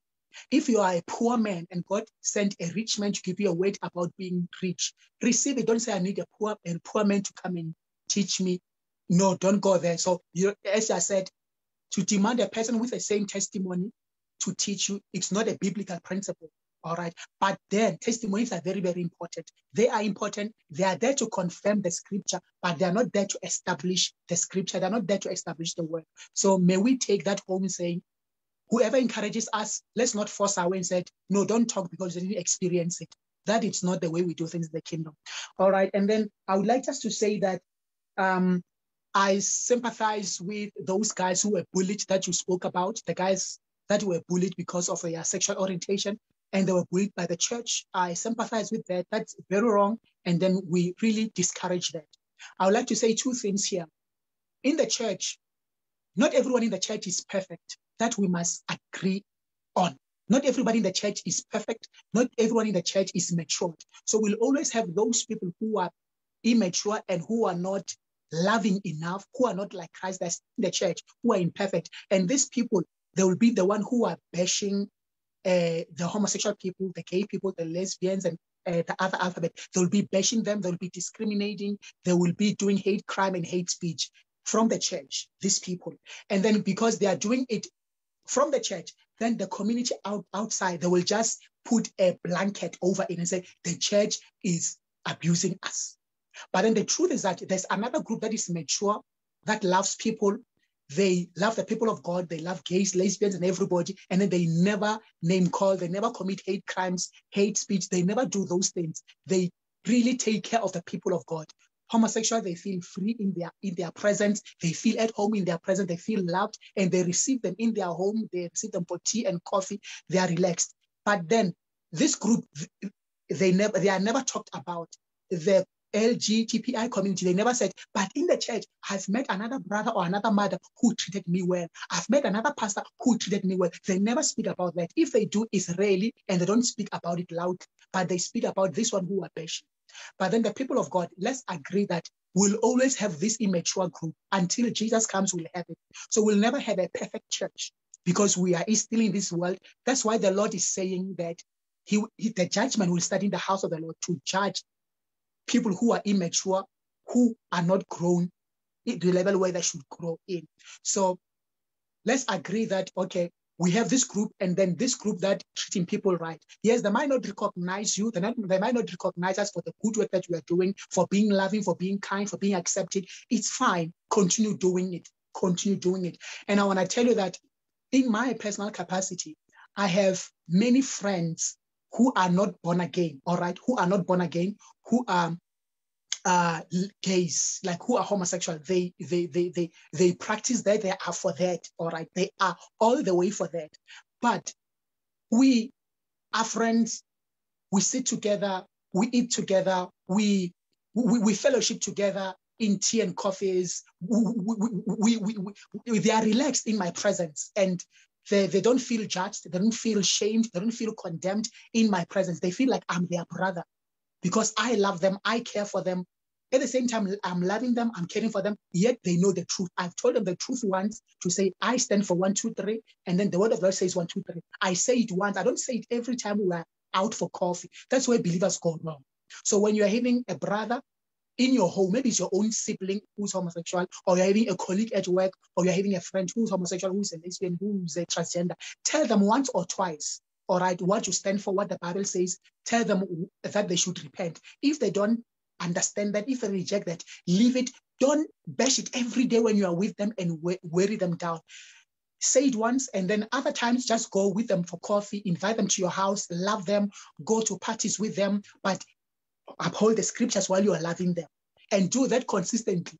Over a period of time, they will come to the Lord because they see that you told them the truth, but then you are loving them, as I am doing with many uh, homosexual friends that I have. And I know that someday they will get to know the Lord and their personal Savior.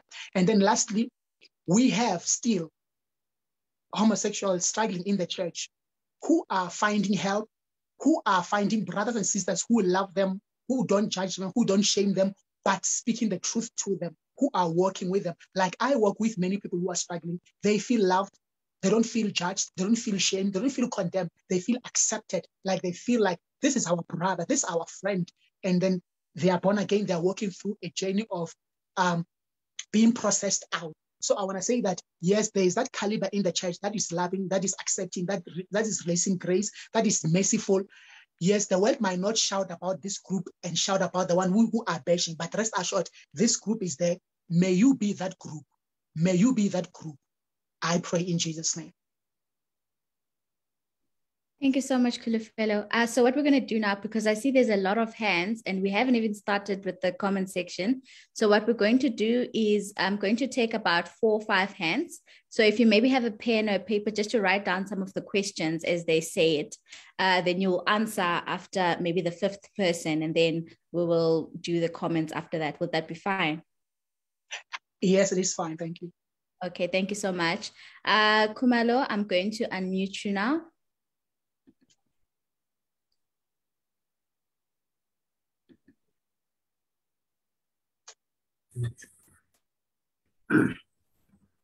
Hello, can you hear me? Yes, we can.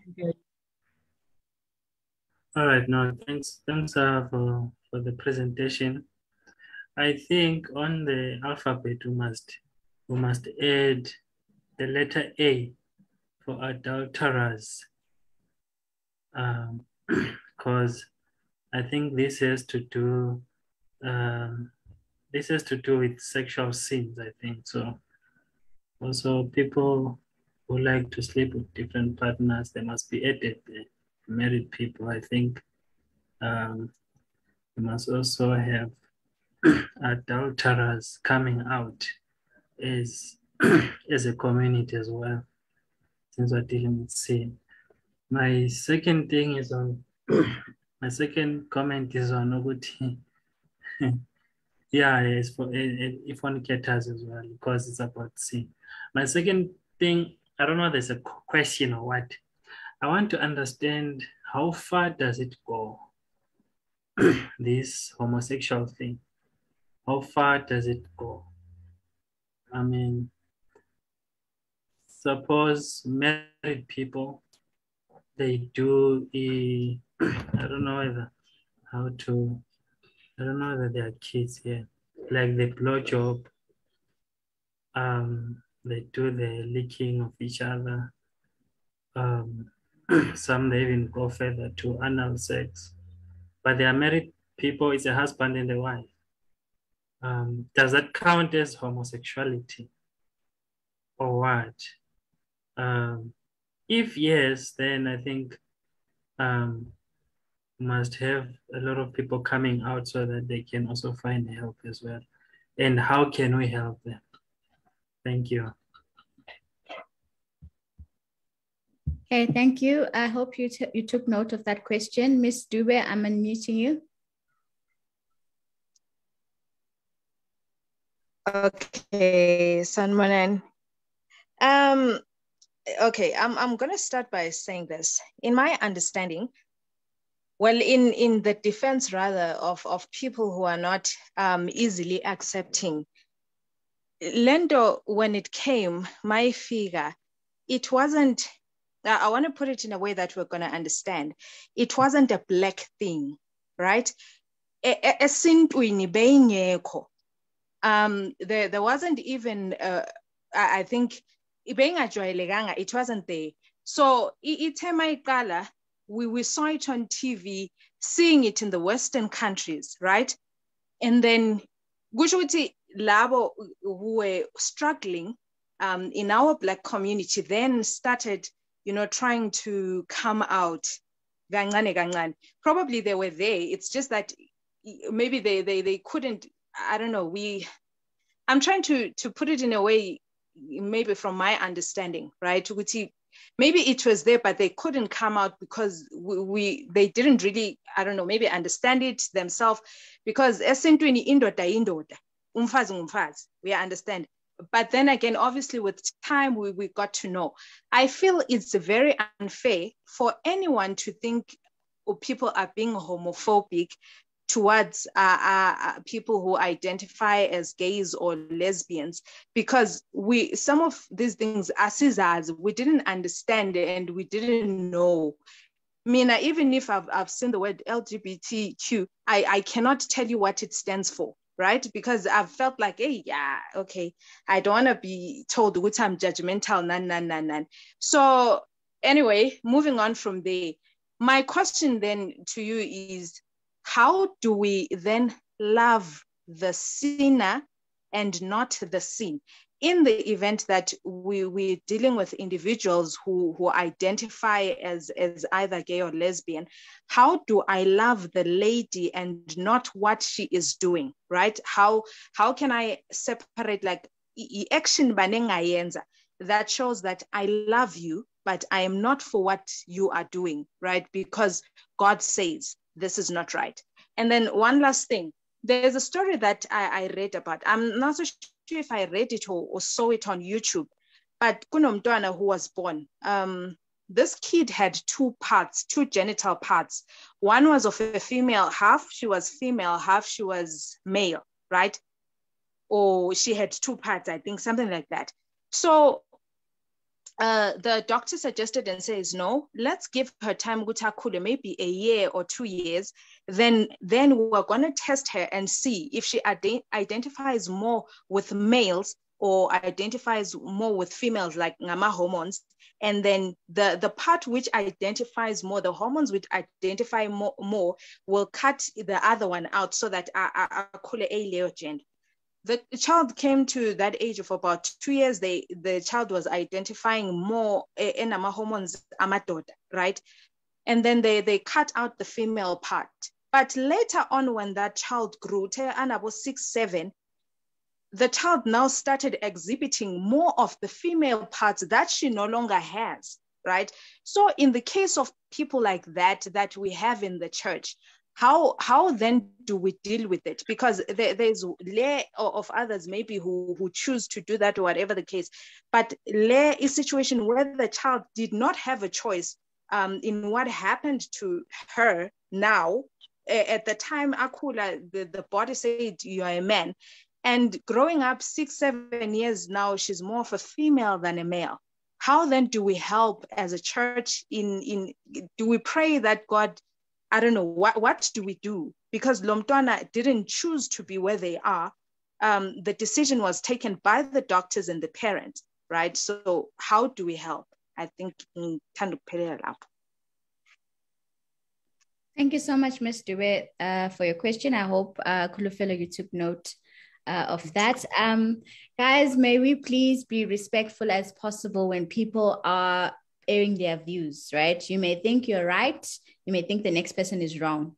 Uh, but we can do this uh, maturely. We can do this like people who are intellectuals, people who actually think and reason. Let's not find ourselves insulting the next person's intelligence. It's it's it's really uncalled for, and I hope that uh, it won't lead to us having to make people exit because we do not tolerate such behavior here. Okay, I will unmute Anthony. Hi, happy Sabbath, everyone. Happy Sabbath. I hope that you're all doing well. Yeah. So um, I was I was listening to the conversation and I found it quite interesting. I think there's a couple of dangerous things that have been said in this in this conversation. I think um, the first one was from Admiral Nubit, where he said like, um, well, you know, scripture is subject to our own interpretation.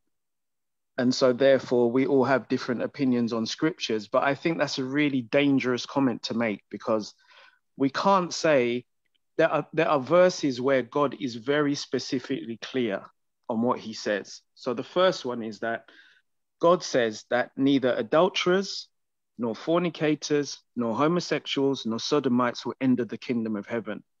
That's not a private interpretation god is being very clear that if you practice certain lifestyles, you are not getting into the kingdom. And uh, so I don't, I don't think, I think the problem is that a lot of comments have been made today and they've been based on the fact of, oh yeah, but you know, gay people act this way, uh, or straight people act this way. But it's not about how people act in terms of what their opinions are. God's opinion is the only one that matters. And I think that's what our brother was ex- explaining. So no scripture is subject to private interpretation. Yeah. We, we know if we look at Sodom and Gomorrah, we know what went down in Sodom and Gomorrah. The word sodomy comes from Sodom and Gomorrah. So we know what happened there. We know God's views on that. Is Sodom and Gomorrah still existing? No. So I have gay friends. Yeah. I have gay friends. I'm in the UK. I have gay friends. One of my best friends is a gay person. Yeah. I am SDA. One of my best friends is a gay person. Do I agree with his lifestyle? No, I don't. And I make that very clear to him. I say, dude, yeah, like, you know, I don't agree with your lifestyle. He got married. I didn't go to the wedding. He didn't even invite me because he knew my opinion. But that doesn't mean that I don't love him as a brother. It doesn't mean that I don't care about him as a person. I still respect him. And on Judgment Day, I, I do share scriptures with him. On Judgment Day, he cannot say to the Lord, well, you know, Anthony never told me about about this going against your word. So he's he's very very clear on that. Also, as well, we need to call out sin by its name. Yeah, like if something is a sin, it's a sin. I'm, I'm not just saying this when it comes to gay people. I've got friends that are players as well. I've got friends that are players. When they are players, I say, dude, I do not agree with your lifestyle, male and female players. I do not agree with what you're doing. It's not right. But calling out sin by its name is important. John the Baptist got beheaded for calling out sin. Should we not do it because we're scared of what people think? No, we still need to do it and also on the on the subject of someone said um, that gay people were being bullied. There's bullies on both sides. For example, let's let's let's go into the whole bullying side of it. In Florida right now, they have put a case forward where they have rejected the LGBT agenda, which is they want children as young as seven to be taught about homosexuality and testing whether someone is gay. Um, it, this is something that parents have said, look, I don't want schools teaching my children about being gay or asking my child if they're being gay. That's my right. I have a child a right to raise my child the way I raise my child. So also when we're talking about bullying, let's look at the fact that now women are now competed against by men. Yeah? I, I, know they raised it earlier on, but that is a mafia on its own. The fact that a woman can train for years and years and years in her sport, and then a man comes along and decides, right, I want to race as a woman, and they'll swim as a woman, and they're all getting gold medals. That is not fair on, on women at all. So we also see as well that um, there's, there's a woman that Tucker Carlson interviewed this week, and her story is quite interesting because when she was growing up, she was basically told that she was trans, you know, because she had certain characteristics about her. I think we, we, I believe we call it the tomboy, the tomboy age, where certain ladies, like young girls, sometimes a lot of the time because they're raised in a house full of men, they tend to kind of be kind of tomboyish. But later on, they come out of that. She was told from a young age, no, you must be trans. So she started to dress as, as a man and stuff like that. Fortunately for her, later on, she realized, actually, I'm not trans. It was just me being a tomboy. It's something that I was going through. Her name is Helena Kerschner. So if you Google Tucker Carlson, Helena Kerschner, it will come up.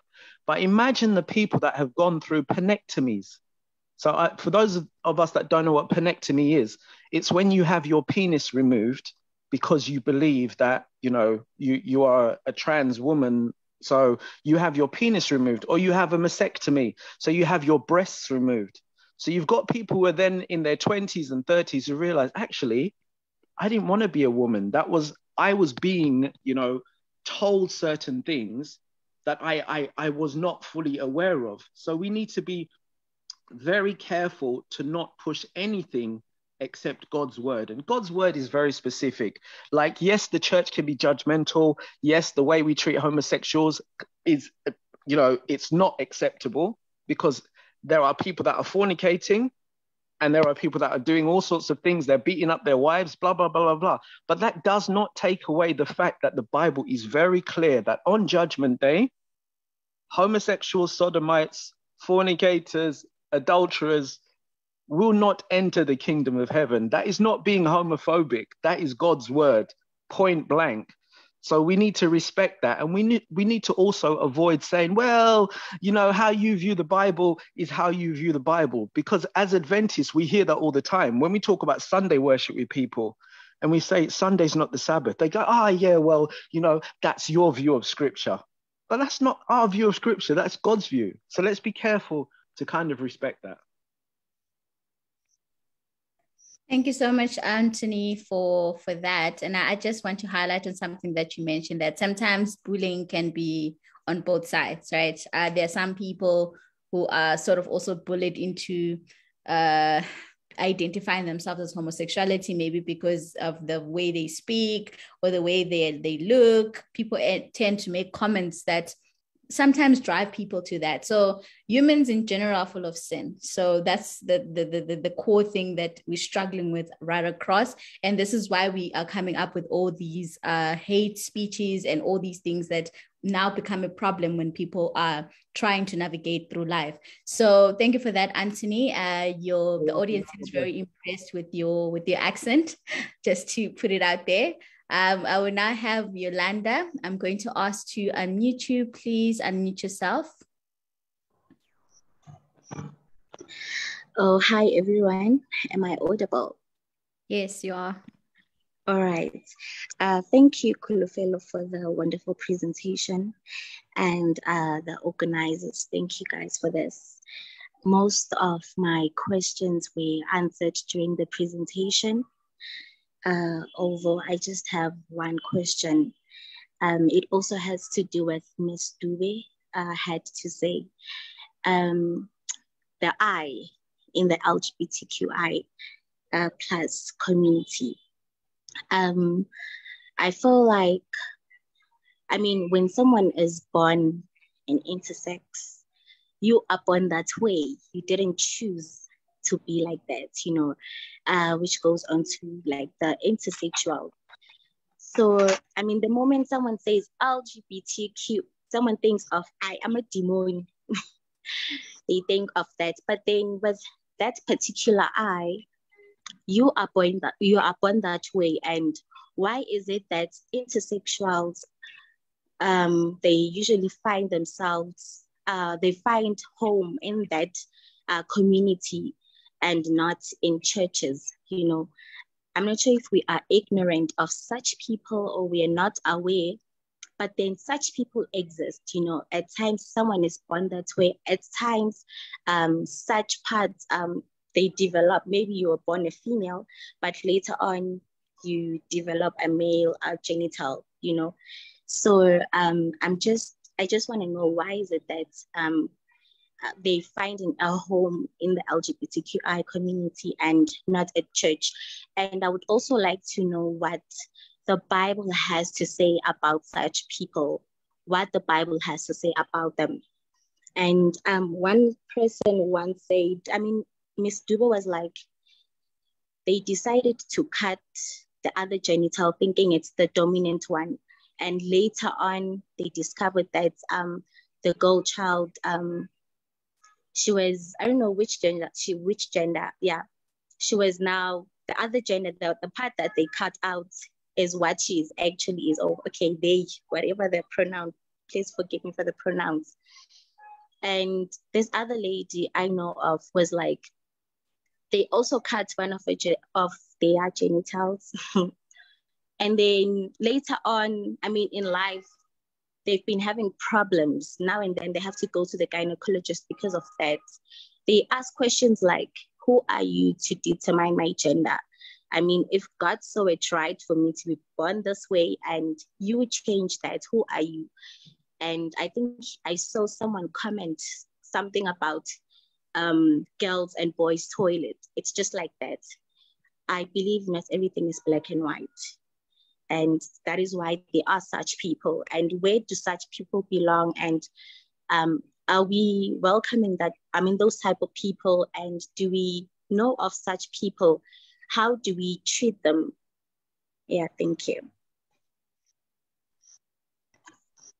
Thank you so much. Um, okay, so I I've I've just been going through the the comment section as well, and um, I know that sometimes as as as common, you know, a discussion may not necessarily lead to where you may want it to as an audience, and maybe you may want to just share your views onto you know what you think and what you feel we are missing, just so that we all feel included, because no one must come out of this feeling like, you know, I didn't feel like I was heard or I didn't feel like um, the, the, the, the, lesson was relevant for me. So I am just going to ask, um, is Theo in the audience? I'm just going to unmute you. Um, if you have any questions or any comments, I will, it's just to include all of us in the in the conversation if you're if you're okay with that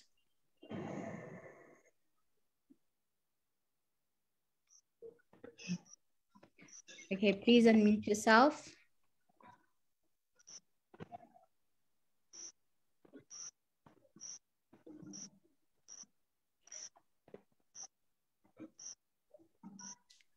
Okay, I am not sure if uh, Theo is with us. Nonetheless, we shall pass on that. Uh, Black Mehmet, I will unmute you.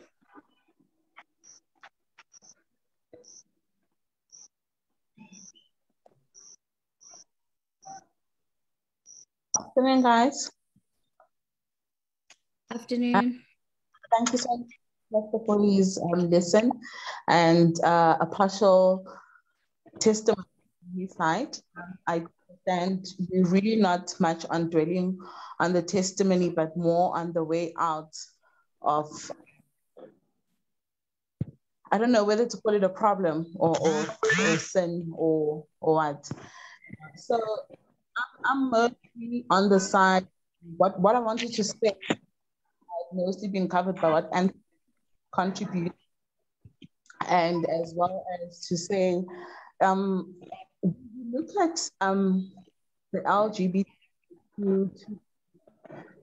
wara, wara, wara. It's it's it's has all you know, and it's something that says God never created us and gave us a sin later on. All sins have been there from creation time. I mean, it's just how things have just differently changed. So for me, when I look at this LGBTI um, dilemma that we are faced with, it comes down to the beliefs that we have as different people. We have one Bible, but it goes back to say, in that one Bible, we have so many churches that still use that one Bible and still choose to interpret verses in their own ways.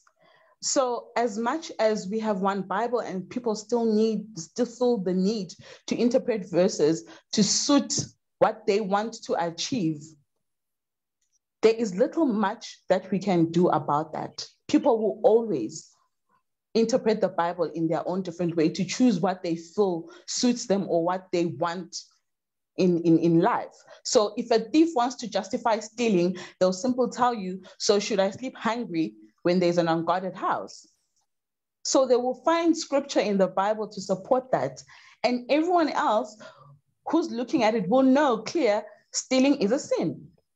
But they'll find verses from the very same Bible that says, do not steal, to justify what they want to believe. So, our biggest problem is not as Christians, it's just as human beings.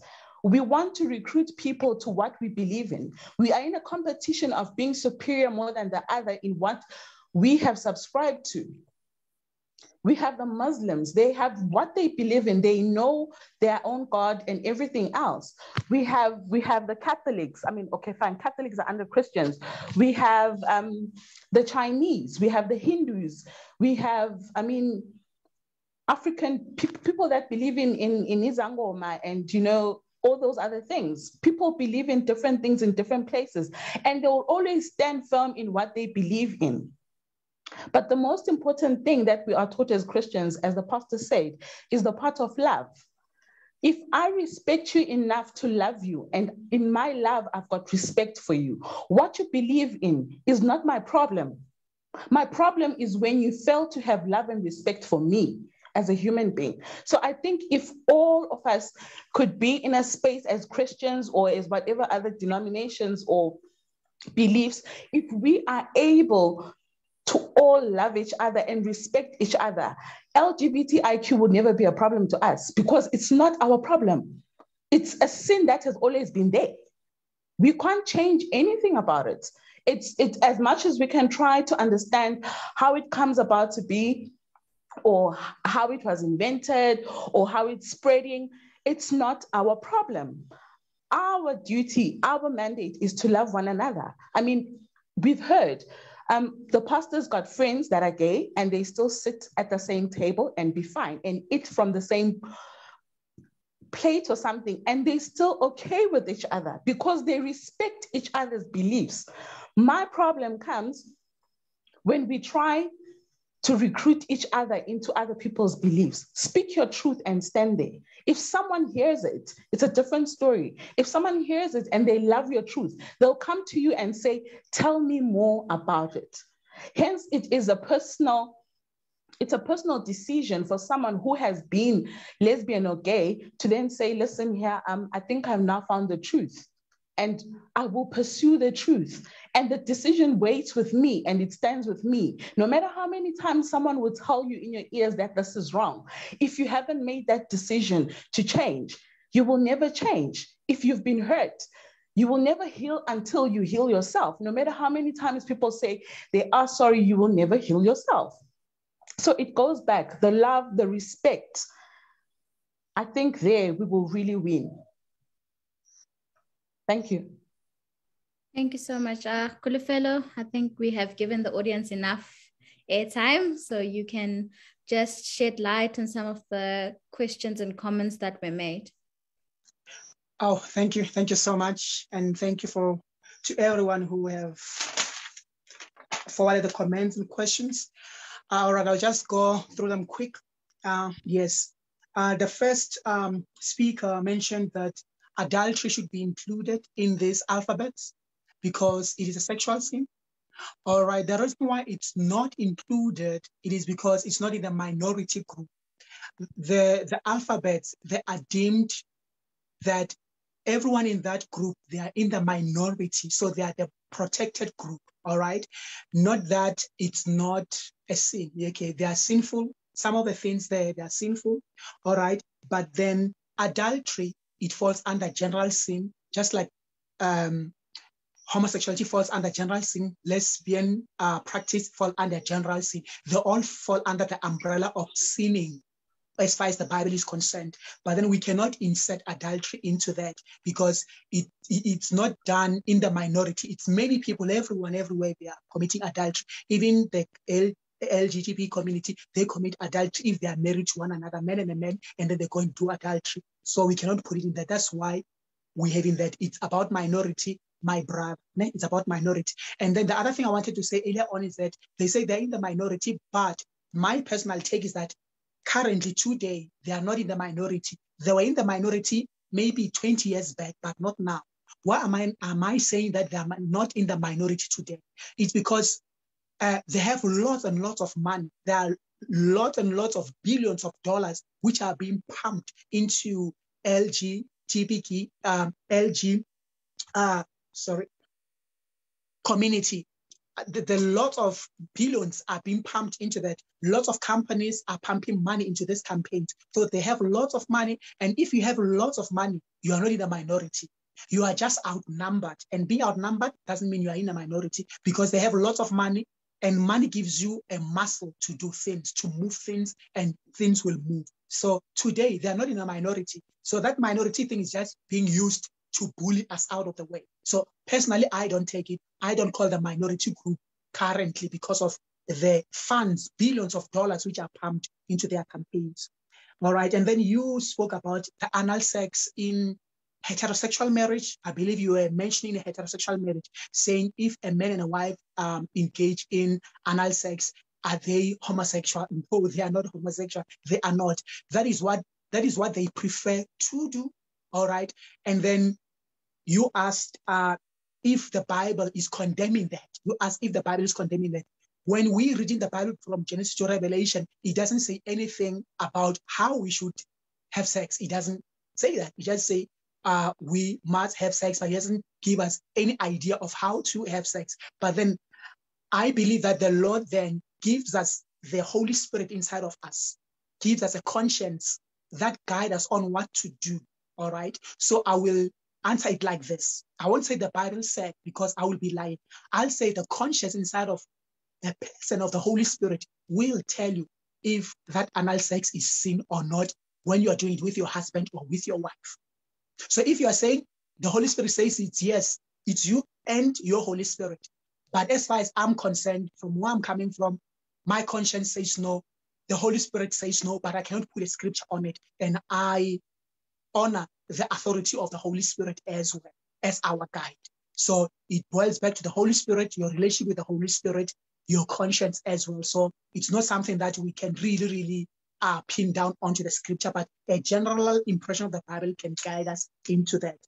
All right. And then the speaker number two, um, they mentioned that is Mrs. Dube, if I'm not um, wrong, uh, she said that um, homosexuality originally or back in the days was not a black thing. It was a thing from white people. Um, I would like to say that's not necessarily true because homosexuality, a lesbian, all these alphabets, they are spiritual conditions. Yes, they manifest themselves anatomically, physiologically, psychologically. They, they manifest themselves in that way, but they have their spiritual origin because they are spiritual things. And then in the spirit, there's no black or white. In the spiritual, there's no black person, there's no white person, there's no Indian, there's no Chinese. The spiritual matters are spiritual. And if a certain thing is attacking you in the spirit, it doesn't respect your color. So this homosexuality, it doesn't respect anyone's color. So it's not that it came with the white or whatever from the very beginning, whether white, black, Chinese, brown, all of us, we struggled with these issues. The issue might be who came out first. And it's not about coming out because coming out doesn't mean that the one who's not coming out is not struggling. Yes, many didn't come out because they didn't have money to come out. They didn't have resources to come out. They didn't have the strength and confidence and boldness to come out. But that doesn't mean that they didn't struggle. As the word of the Lord says that there's nothing new under the earth. All right. So nothing new under the earth pertaining to blacks and white. So let's not pin it to any other culture. We are all fallen and we're in, we are short of God's glory. I'm a black person, I've fallen, I'm short of God's glory. A white person is short of God's glory. We all need God in this issue. So it's not a black or white thing. And then the second thing that uh, Mrs. Dube said, it was about um, okay, assigning um, the a sex change, doing a sex change for a child who's born um, with maybe two genitals, or maybe they are they are they are they are born with a penis, but then find that they have some uterus, they have some fallopian tubes, and then there's some discrepancy right there. Um, then she said, how do we determine the sex on that child? Because some other people find that they assign them to another gender. Then when they grow up, they're 16, they're 20 years, then you find that they they feel like they are that gender that was removed or they are that sex that was removed. How do we assign a gender then? All right. Um, in terms of intersex, we know that it is, um, is a matter of chromosomal abnormalities and hormonal abnormalities. All right. And then we know that um, for it to be changed, we need uh, two things surgical reconstruction, where they will look, they'll do chromosomal studies and hormonal studies. Then the one that is small, then the child will be assigned to that, or the person will be assigned to that. All right. And um, the most important one is a spiritual discernment, which us as believers we do have. You can actually pray about it. If you have a child and then they, they you have a child and they, they are born intersexed, you can say, Lord, I have this child before me. Um, please reveal to me what gender is this child? Because now it seems like um, the child have two genitals. I don't know if he's a male or female. Lord God, you know this child and you have a purpose about this child. You have a purpose about this child. Please tell me. The Lord will reveal it in your heart about the child. I have another pastor who was called in this issue because the parents they had, inter- they had a child who was intersex. Then they said, Pastor, please pray and, uh, and just hear with us from the Lord. And the Lord really told them what the child is, and then they cut out the sex that was not, and then the child grew up to be that person because they heard from the Lord. So you can hear the Lord. So I, I recommend that you hear from the Lord about your child, and then you do that later and do sexual a surgical sexual reconstruction. And then the third question that she asked was saying that uh, you can do this reconstruction, but then later on you find that, oh, they have chopped out the part that was the real me. What do we do there? We can do secondary um, secondary uh, surgical reconstruction again. We can chop and then fix things if they are fixable. Because some other things will not be fixable, but then we can bring it closer to that place. We can bring you closer to that place. All right. Even though not totally, because you'll not be totally uh, or 100% into the category of a male or a female, but you'll be brought somewhere closer. So that secondary uh, reconstruction and spiritual discernment as well. All right. And then um, I just want to even interlink it with another speaker who asked if a child is born with, uh, I believe it was a third speaker who asked, uh, the fourth speaker, she asked if a child or anyone is born intersex, Is it normal? Is it sinful? Uh, who do we condemn? What do we say in that instance? Do we say this is abnormal? Do we say this is sinful? All right. I, I am a medical doctor. All right. I'm a medical doctor by profession, yes. And then I will tell you that I'll make an example about the cases that we see in pediatrics. All right. Um, you find that a child is born with Down syndrome. Okay, when a child is born with Down syndrome and is presented to you, this child didn't choose to have Down syndrome. They were born with it. All right. And then as they were born with it, we cannot say the child is normal by the reason that they were born with it. And that's where most homosexuals get it wrong. They say, because I was born this way, it means it must be normal. If we go with the reasoning that if we are born with something, then that something it's normal, then you must call a Down syndrome normal. You must call cerebral palsy child normal. You must call a child with a floppy syndrome normal. Those children are not normal when we are dealing with pediatrics. They are not normal and they need help. They need multi multidisciplinary help. All right. So because they are born with that and then they are not normal and they will need help to bring them to bring to bring them closer to normality to bring them closer to normality. So even this child who was born with an intersex they have two genitals they have the uterus and then they have a penis. Are they normal? They are not normal all right? That's a no, that's not a normal way a person should come all right? Then the second question is it sinful?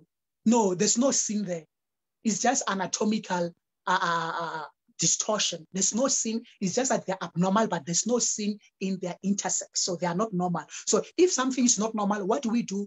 We do surgical correction, whether be it um, Down syndrome, be it uh, uh, uh whatever a condition the child comes with. We do correction where correction is needed and where correction is possible. So this intersex child number one, is not normal. We are not condemning the child. Please let's not throw the card of condemning. No, they are not normal because having two genitals is not normal. But then we can bring them closer to normality. Another question, is there a sin there? No, they are not sinful. And then God accept them. We accept them as a church. There, there's no sin in that. They are just abnormal, and then we'll bring them closer to normality by surgical construction. Surgical construction. All right. So if I can just connect it to homosexuality. Now, again, we, we spoke about intersex. It's abnormal, but then it's not sinful. But then when we come into the issue of homosexuality, all right, then a person will say, I was born this way. Why do say they were born this way? Because when they were coming of age, when they were realizing themselves sexually, is that is the only thing they knew. When they woke up, they woke up with the same sex feeling that I'm attracted to boys. I'm attracted to girls. It's what they knew their whole life. Hence, they say they were born that way. All right.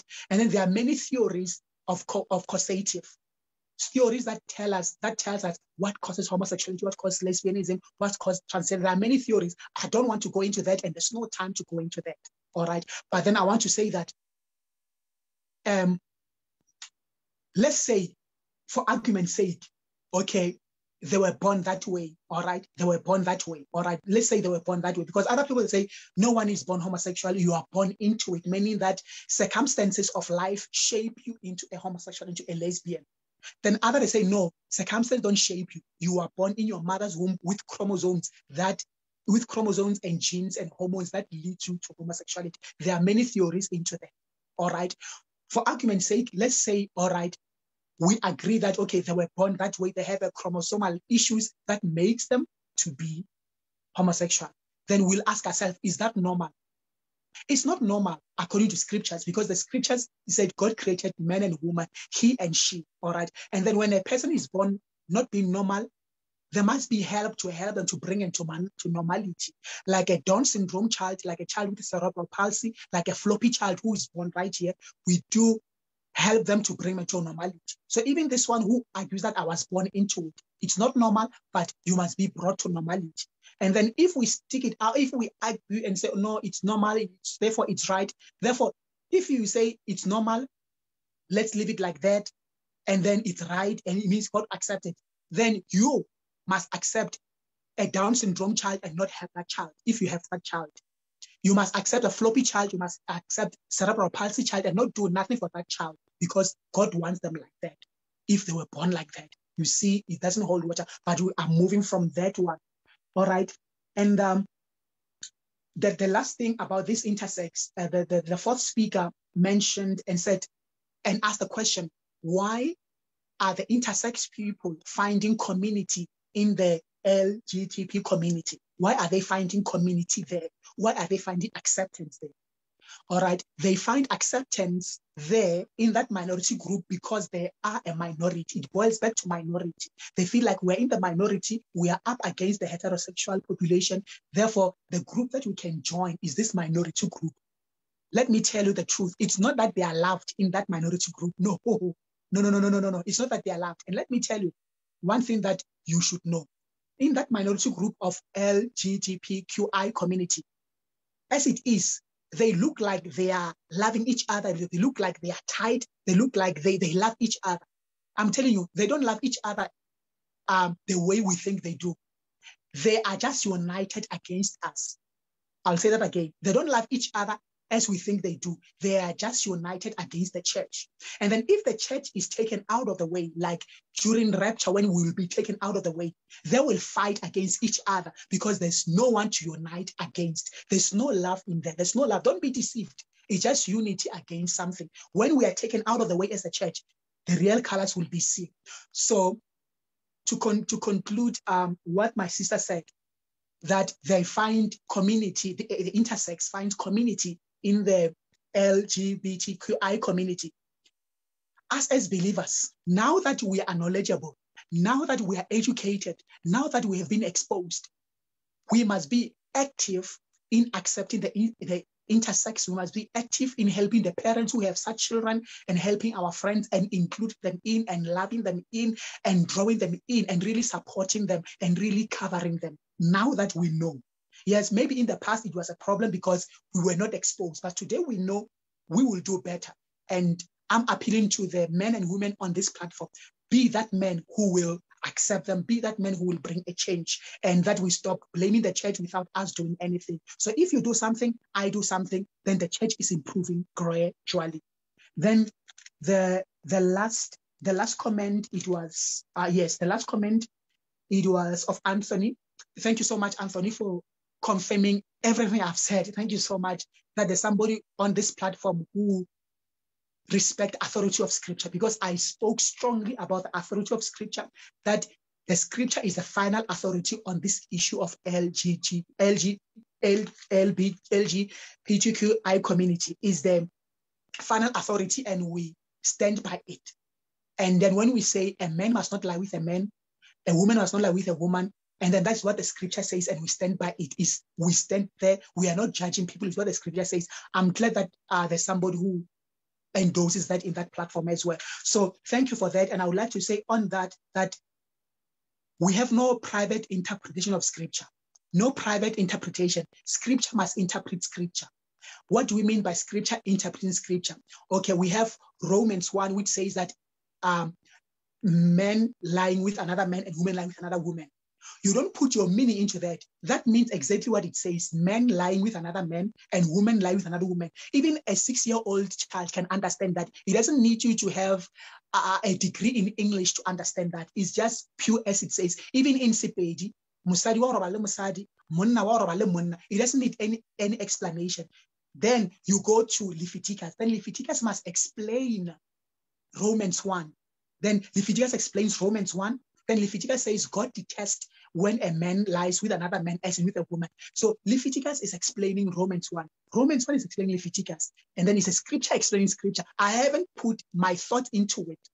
So there's no private inter- interpretation, is what we mean by scripture interpreting scripture. And then you go to Corinthians. Then to Corinthians as well, it says, uh, those who practice homosexuality, they will not enter into the kingdom of God. Then Corinthians is interpreting Romans 1, Romans 1 interpreting Leviticus no thought of Kholofelo, no opinion of mine, no private interpretation. It's just the Bible as it is. That's how we should interpret the Bible. So the notion that uh, the Bible is subjective, the different interpret, no, that is not true, and we should not subscribe to that. What will help you is that you must allow the scripture to interpret the scripture. If the scripture is difficult, if one verse is difficult, don't understand it, find other scripture that can illuminate that verse, and you won't be wrong. You'll always hold in the true, authentic word of God at the same time. And then lastly, uh, just speaking on of bullying. Thank you so much, Anthony, for mentioning bullying as well. That bullying is on both sides. I've mentioned that as well. I've said earlier on when I was doing my presentation, I said this community of homo homosexuality, lesbian, and, and, and, and transgenders, they are bullies. And I will say that again on these cameras. They are bullies as well. Not all of them. Not all of them. Some of them, they are bullies. Because I said when I was presenting earlier on that they will teach your kids in, in, in their school that there are two mummies and there are two daddies, and they will teach a child that, all right, without a parent's permission. How do you do that? How do you teach a six-year-old that there are two daddies and two mummies? You must accept that without consulting a parent. That's bullying. They are bullying their way into our children. And we should not accept that because they use a homophobic card. When you say, no, don't teach my child that at school, they say you're homophobic. And then they want to silence you. They want to put a tape by saying you're homophobic. You are not homophobic. You are the word philic. You love the word. You are the person of the word. You uphold the word. You uphold the high standard of the word. No one should silence you. No one should bully you. As long as you're speaking the word of God and the truth in love, with love, with love, with love, with love, and accepting the people. And then lastly, on that, on the part of love, then another person asked to say, how do we then um, work with these people? It boils back to what I said, that when you're having a homosexual friend, tell them once or twice what God says, that God loves you, God wants you to repent, God wants you to be saved, and God hates homosexual act. All right. And then leave it. Don't say it every day when you are meeting for coffee. Then next time when you meet for coffee, talk about weather, talk about politics, talk about work, talk about their family every day when you are meeting. Don't repeat it. Don't re- when you repeat it, then you becoming abusive because you said it once. The Lord will work on it. Don't you don't have to repeat it. So yeah, I will just uh, end it there. I hope I've covered everything that I've said. Thank you. Thank you so much, Kholofelo. That was very, very profound. Um, because of time, I see that there's uh, quite a lot of hands. I'm going to ask that you keep your question straight to the point and your comment straight to the point, one minute max, and uh, so that we can have everyone say what they what they think or what they feel about this uh, topic. I'm going to unmute uh, Zintle. Hi, I believe everyone is well. Okay, uh, from from everything what has been said, I think before we start to point on them, see why are they in that situation. First, we must deal with the roots, because most of the guys that are gay, most of them they went through a lot when they are young. I have a friend who is gay, used to be raped by his older brother when he was young. So now kuba nzima for yena to express ama-feelings wakhe to a opposite gender to another female. I think also with this thing judgmental like sin is sin. Like if untshontsha it's a sin. If you are gay it's a sin. Kungabi nalesi ukuthi there is a sin that is bigger than another. Zonke izono ziyafana phambi kamdali. So kungabi ukuthi because he's gay isono sakhe sinkulu ukudlula esomunye if we call it sin is sin everyone is a sinner. Ukuthi umuntu yena uzofika kanjani kunkulunkulu it's a it's a, it's indaba yakhe noNkulunkulu. Asizingeni thina lapho ukuthi sina we are the judge. uNkulunkulu akazange wasifaka ukuthi sibe ngamajaji emhlabeni but i-personal relationship yomuntu noNkulunkulu akusindaba yethu. I have a friend who is gay like he prays more than i do. They trust in god more than i do. I-relationship yakhe nonkulunkulu angazi ukuthi njani. So i think it's not our duty to question them ukuthi why are they there? Why are they doing that? Thank you Thank you so much. Um, Daniel?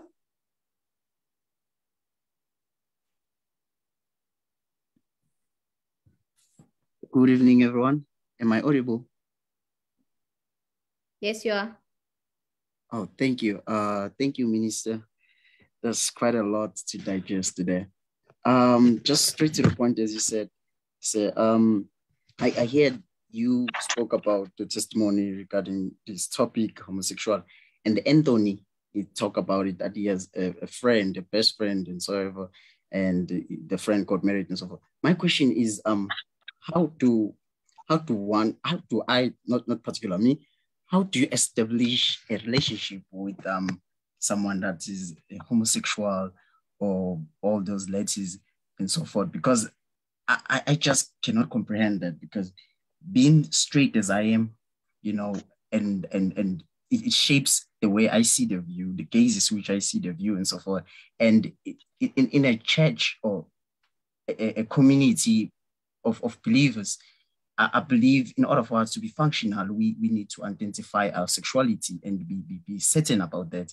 So if one is not certain about their sexuality, how do they function even at church? How do I relate to them, you know? So it's, it's quite hard for, for me and, and other folks to establish a relationship with those people. So yeah, that's my question. Thank you.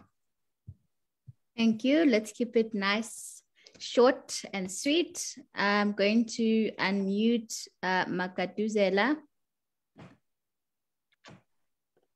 Hi guys, can you hear me? Yes. All right. Uh, yeah, first of all, I just want to appreciate the, the presenter, well articulated, you know your thing, man. Appreciate. Secondly, Anthony, please do right by one which is dying. And I think it's uh, not good to be ducking and diving when Ndana Bandu is coming, just packing your bags. So get ready.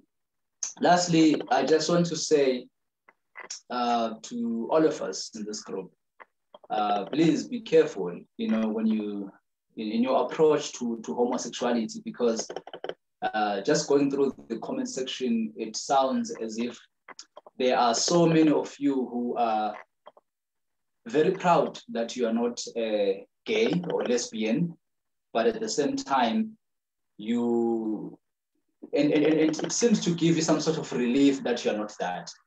But understand that, uh, as the presenter has said, sin is sin, okay? Sin is sin. Uh, God does not have a softer side to him that uh, will pass on some sins and be harsh on other sins, right? So my question that I asked earlier was, as a church, what is our message? Because it is one thing to tell someone where you stand about something. It is another then to actually talk about what is um, what is what is our message to them? Because I've not heard anyone here say God loves homosexuals, right? I've not heard anyone say that. What I'm seeing in the comment section every time this question comes up is look at Sodom and Gomorrah.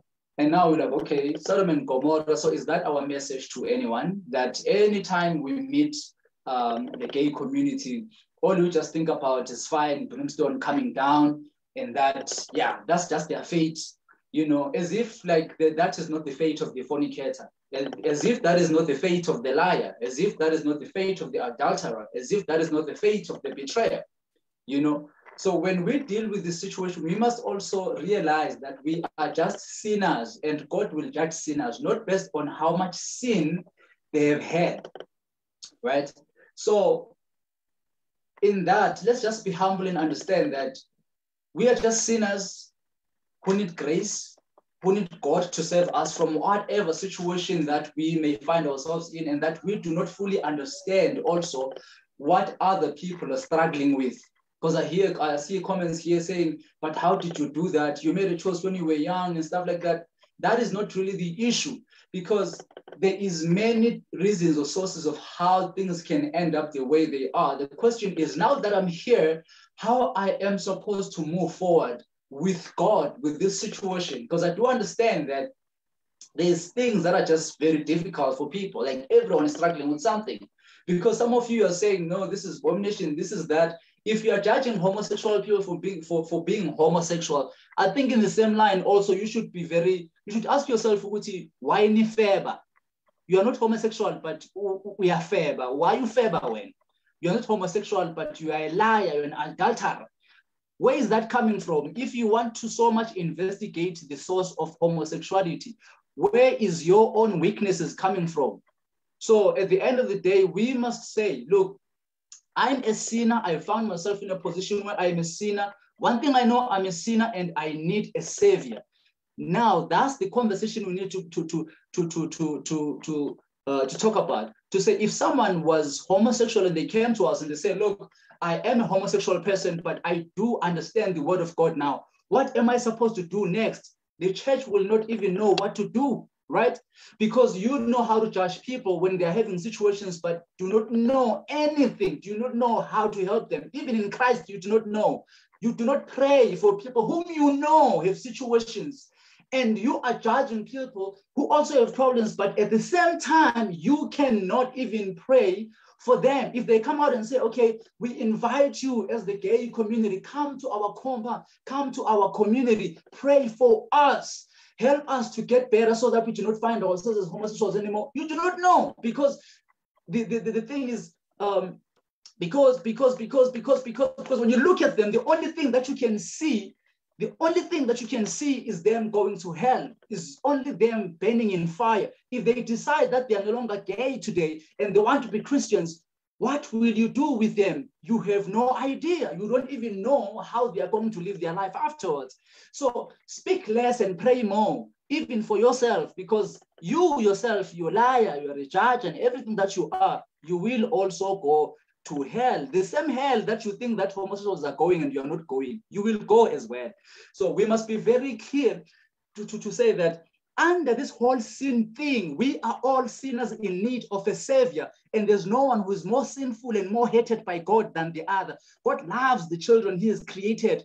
In all the avenues of sin, God will seek his children. Even you who's, who's not homosexual, who's not gay, but is a liar and adulterer. God is seeking you with so much love, the same way he would a homosexual person. Because if you do not repent of your sin, you are also going in the same direction. That's where you are going also. If you lie, you kill, you do all these things, do not think that you are headed to a much uh, hell, uh, a much colder, a hell that is not uh, hotter than the one where the homosexuals will go. You will go to the same hell, everyone including drunkards and everything. The Bible is very clear. So when we when we speak of this, do not say, but how did you become this? You chose it. You know, just just look at yourself as a person. Deal with your own life, deal with your own sins. Understand that if you think God is as powerful to deal with a homosexual person, then God is as powerful to deal with your chronic sin that you've been doing for years and that will pull nucleus or so on. So please, let's just be loving and be less judgmental and pray more that God helps those people that we do not even know how to help because He knows how to deal with His own children. We do not know ourselves, but He knows them, He knows us. Thank you. Thank you so much, Brian. Uh, that was uh, very, very profound. And I see that you spoke with power and passion. Um, also, let us just remind each other that whenever we also have these conversations, it's also an opportunity for us to introspect onto how do we actually go back into the churches and treat uh, people whom we deem different from us, right? So I appreciate that uh, that comment. I'm going to ask Toby to unmute. Um, himself or you? Um, uh, thank you, thank you, thank you for giving me this opportunity. Um, Kholofelo, I just want to thank you for this presentation that you had, that you made. Um, clearly, you you researched um, this topic very well. So um, I wish you well in your endeavors. However, my comment is not directed to you. My, I don't have a question. I just have a comment directed to um, anyone who's gay or lesbian in this platform. Um, is that what I just want to say to you is that um, our relationship with Christ is personal and private.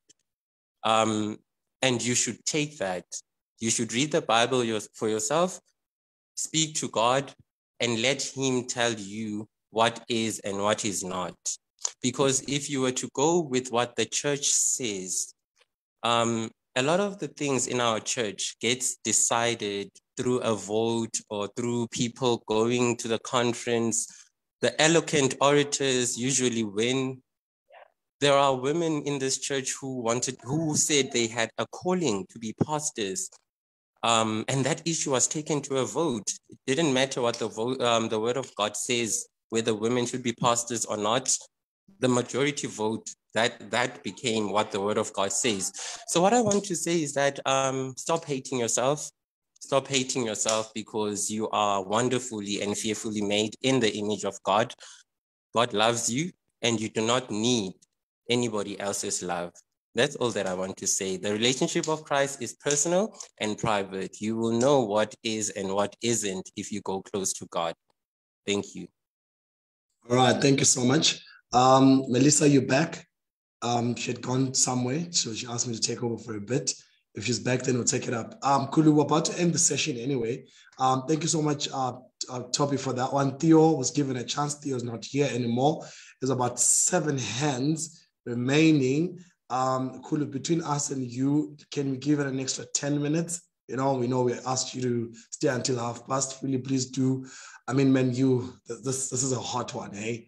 Um, so let's give it another maybe 10 minutes or so. Can we try to stick to the one minute that I was given? Let me give the order in the following way. Um, Van Heden and Tombizodwa, Art, um, Kalesia, Michelle, uh, Anthony, in fact, uh, Queen, and then Anthony will be the last one right there. All right, so in that order, Van Heden, Tombi, get ready, guys, with the comments. Art, um, Kalesia, Michelle, Queen, and then Anthony. Try to give it a minute another 10 more minutes. We're about to finish the conversation. And thank you so much for sticking as far as you did.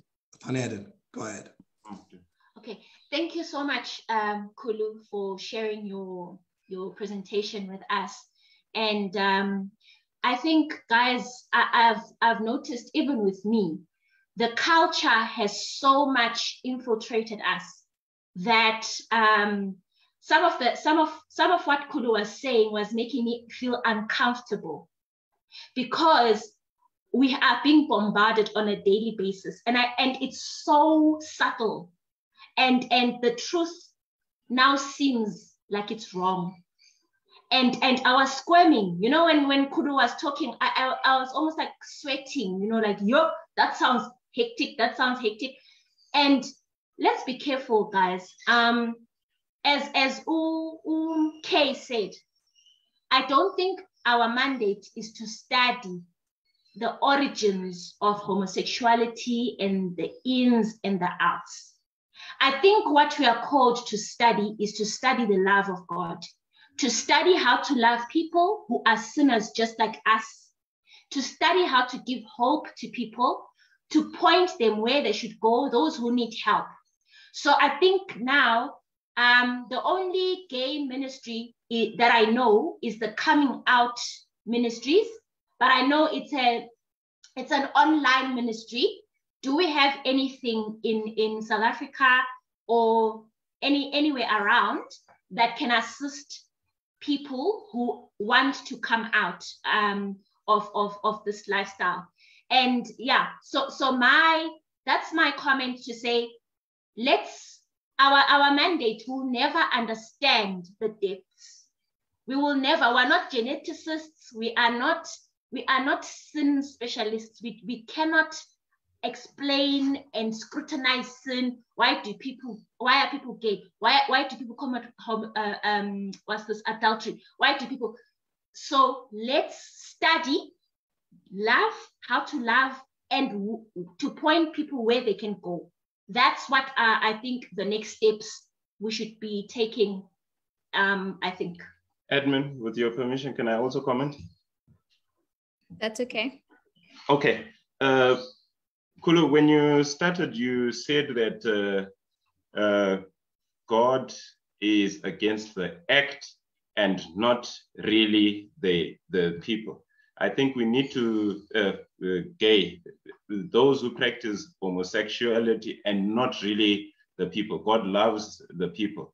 So that was established when when we started. When we are speaking uh, like this, we are not condemning uh, anyone, but uh, the act has been condemned by God Himself. So we are re, uh, we were only stating what God has said. Having said that, uh, there are people who are who say they are not practicing homosexuals. Uh, I mean, gay people. They're gay, but uh, they're not uh, really practicing, and that's probably going to be a challenge that the church is going to be faced with in future, especially when it comes to nominations uh, and the like. What is your take on those who say they are not practicing?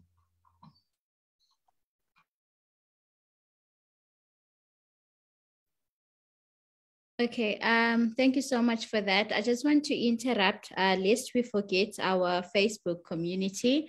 Uh, we know that uh, this uh, presentation is being streamed on Facebook as well. So I'm just going to also read the comments uh, from Facebook. Okay, um, Nonsigalelo Nhlapo says, people need to understand the real reason for getting into a marital setting. At times, young people are pressured into a marriage without having a valid reason. Once we understand why we do certain things, we will live in peace. Okay, I think that was a follow up from Umta says, How does one know they're gay or lesbian, especially when you are married? Uh, when you hear a married man is gay, what would have happened? Marriage expectations not met. So uh, Nansigelelo was just responding to that. Um, going to read the other comment from Umta. It says, uh, what happens to people within the church uh, that, that identify themselves of the LGBTQI community? I am afraid that some of the people will then get married just for the sake of getting married, but have the same sex affairs outside marriage. This is happening within the church. And um, how should Mpo Mohaka says, how should one handle a an asexual person? You discover that when married, a person says he or she is not sexually attracted to his person. Uh, to his partner. Okay, I, I don't know if I have covered uh, most of the of the comments, but just so that we include our Facebook community as well. I know Umta had uh, given an order uh, to unmute. Uh, please, umta can you unmute accordingly? Ntombi is unmuted. Ntombi, go ahead.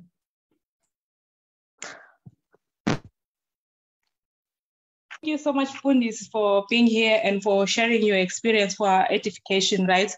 I love how you invited us to show love, to show compassion, even to those of a different sexual orientation. Ultimately, I believe I believe we all belong to a broader community, the community of children of God. And I think if we engage or relate to each other as such, we will not struggle to love uh, members of the LGBTQ plus uh, community, right? Uh, I also think we'd also be equally pained when we hear stories of corrective rape, when we hear of stories of all forms of abuse against the LGBTQI community, because before their sexual orientation, we relate, relate to them as children of God. And it really bothers me that some of these Ill, evils and social ills are committed in the name of God and in the name of the Bible. And it makes me wonder um, what kind of God would want you to rape someone as a way of converting them to Him. And now the point that I, I, really, really want to place on record is that I genuinely believe that the members of the LGBTQI plus community are holding all of us hostage. I have sometimes um, taken the label of being a conformist uh, for my stance or what I just shared or how I relate to members of the, L- the LGBTQI community, right? But I genuinely believe we are being held hostage you cannot disagree with members of, of this community and, and live to tell the story. You, you risk uh, losing your, your career or, or anything or being criticized public or social media for just sharing a, a, different view.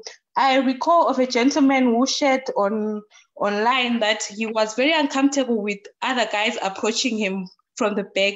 Actually, he said his friend approaching him from, uh, from the back back, he ended up training for a guy for for being a homophobe. And, and I was thinking, now I can't express my a feeling or how I want to how people to relate to me or to engage with me for fear of being a homophobe.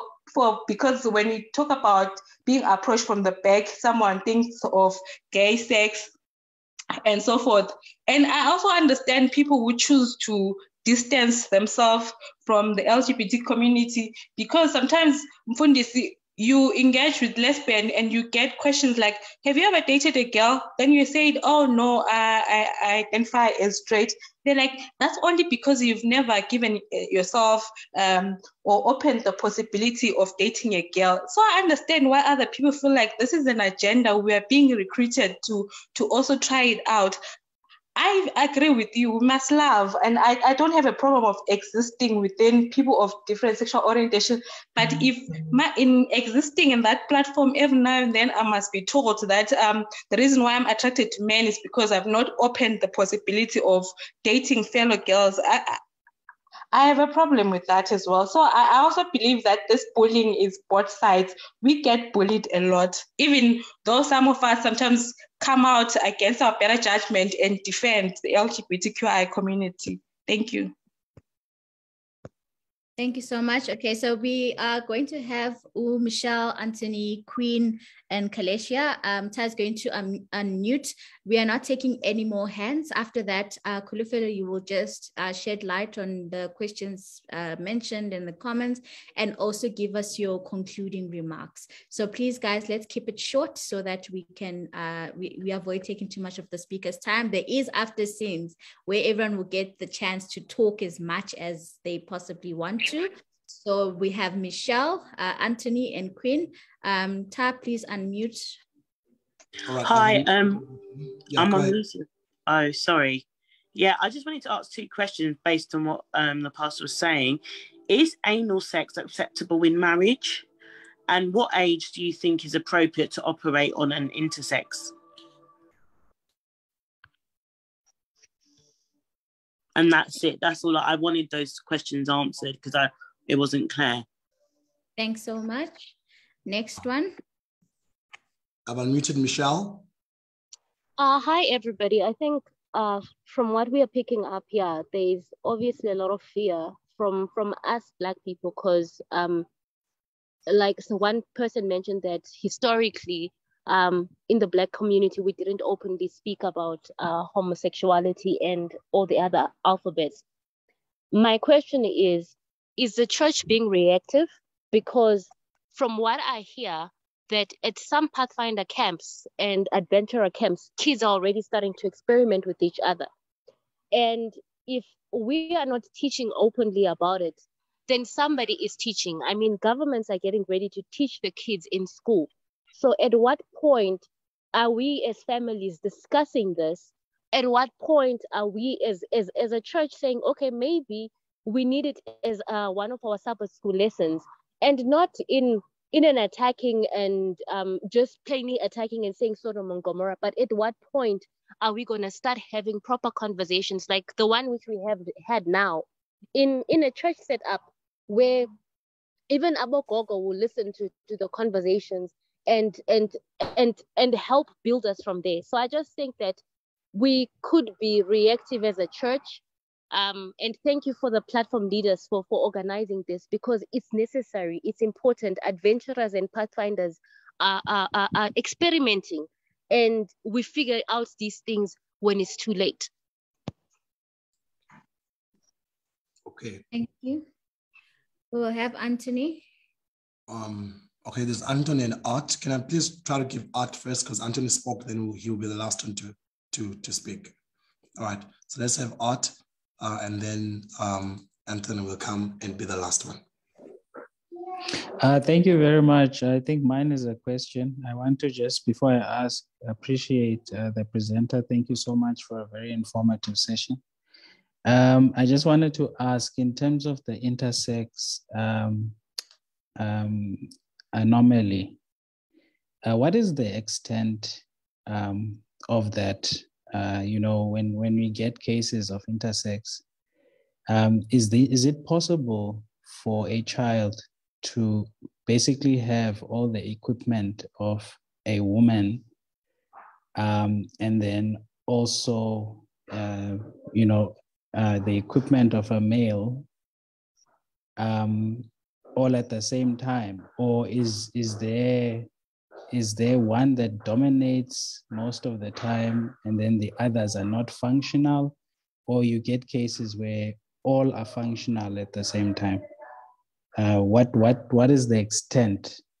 And then i think you touched on it a bit in terms of how one decides then whether this one is a male or a female. Uh, but can you maybe just run through that again for me please? Thank you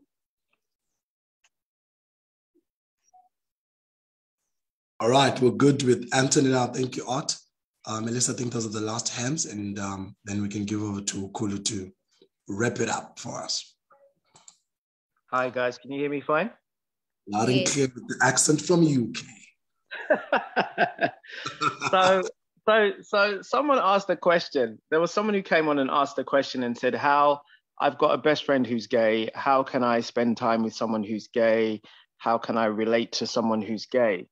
So, it, this, this, this kind of thinking takes me back to when people were asking Jesus, how can Jesus hang out with prostitutes and tax collectors?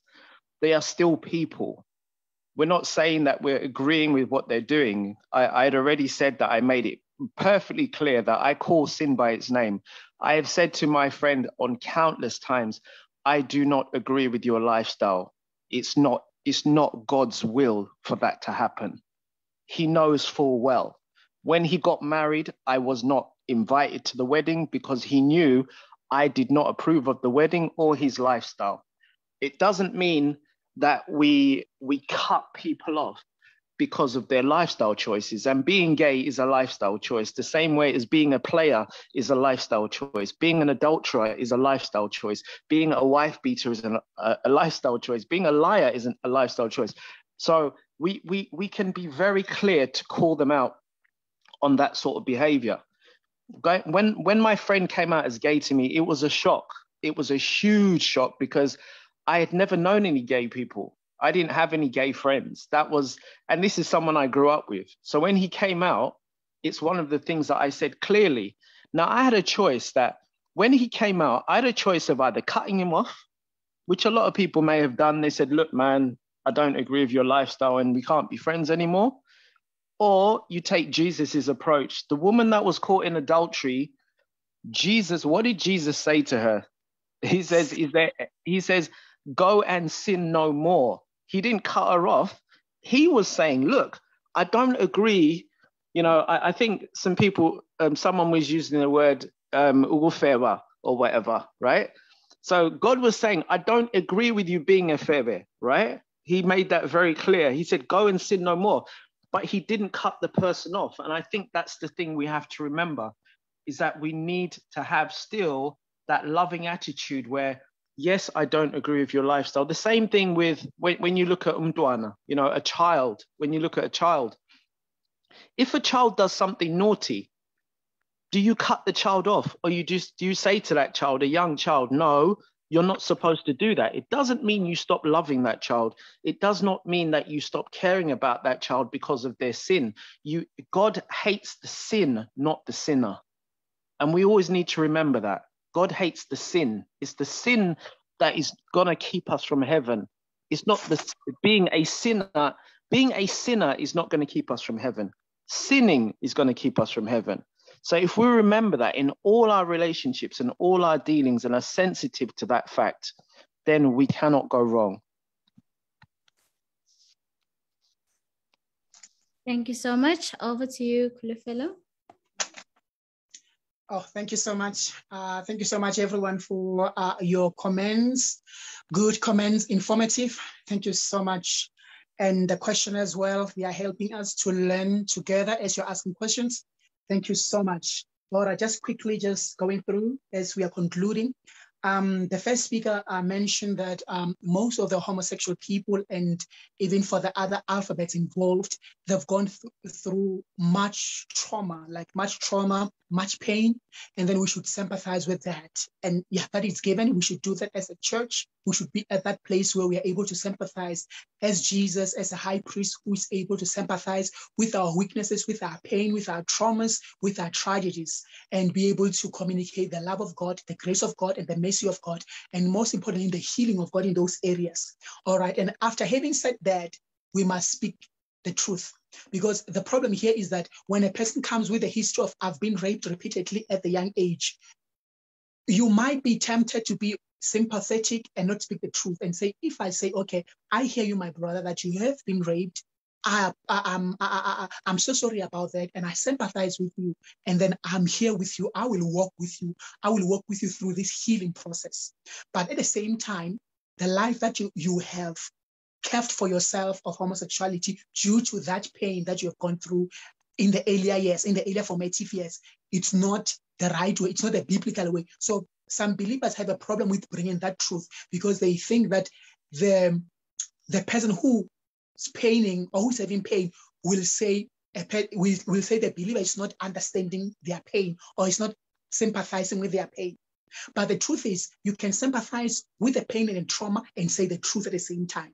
And victory and healing and deliverance comes when you balance the two. You sympathize, you walk with through healing process with the person, love walk with the person, but tell them the truth. Say the Lord discourages this, the Lord doesn't approve this. Please, can you try to repent as we are healing together?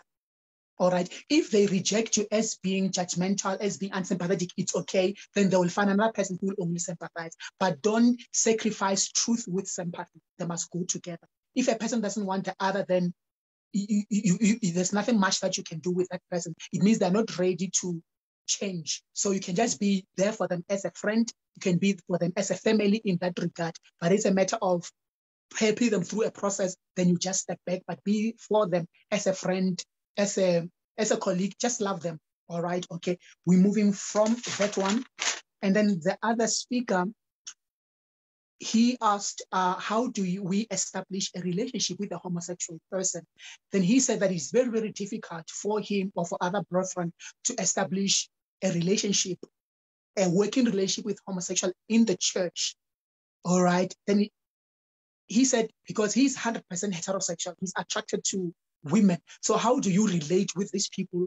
How do you talk to them? How do you befriend them? How do you spend time with them? How do you invite them to your house, as in living with them every day? Okay, the answer is simple. You relate with homosexuals and any other person who's, like, who's struggling with any sexual struggle. You relate with them the same way you relate with a liar.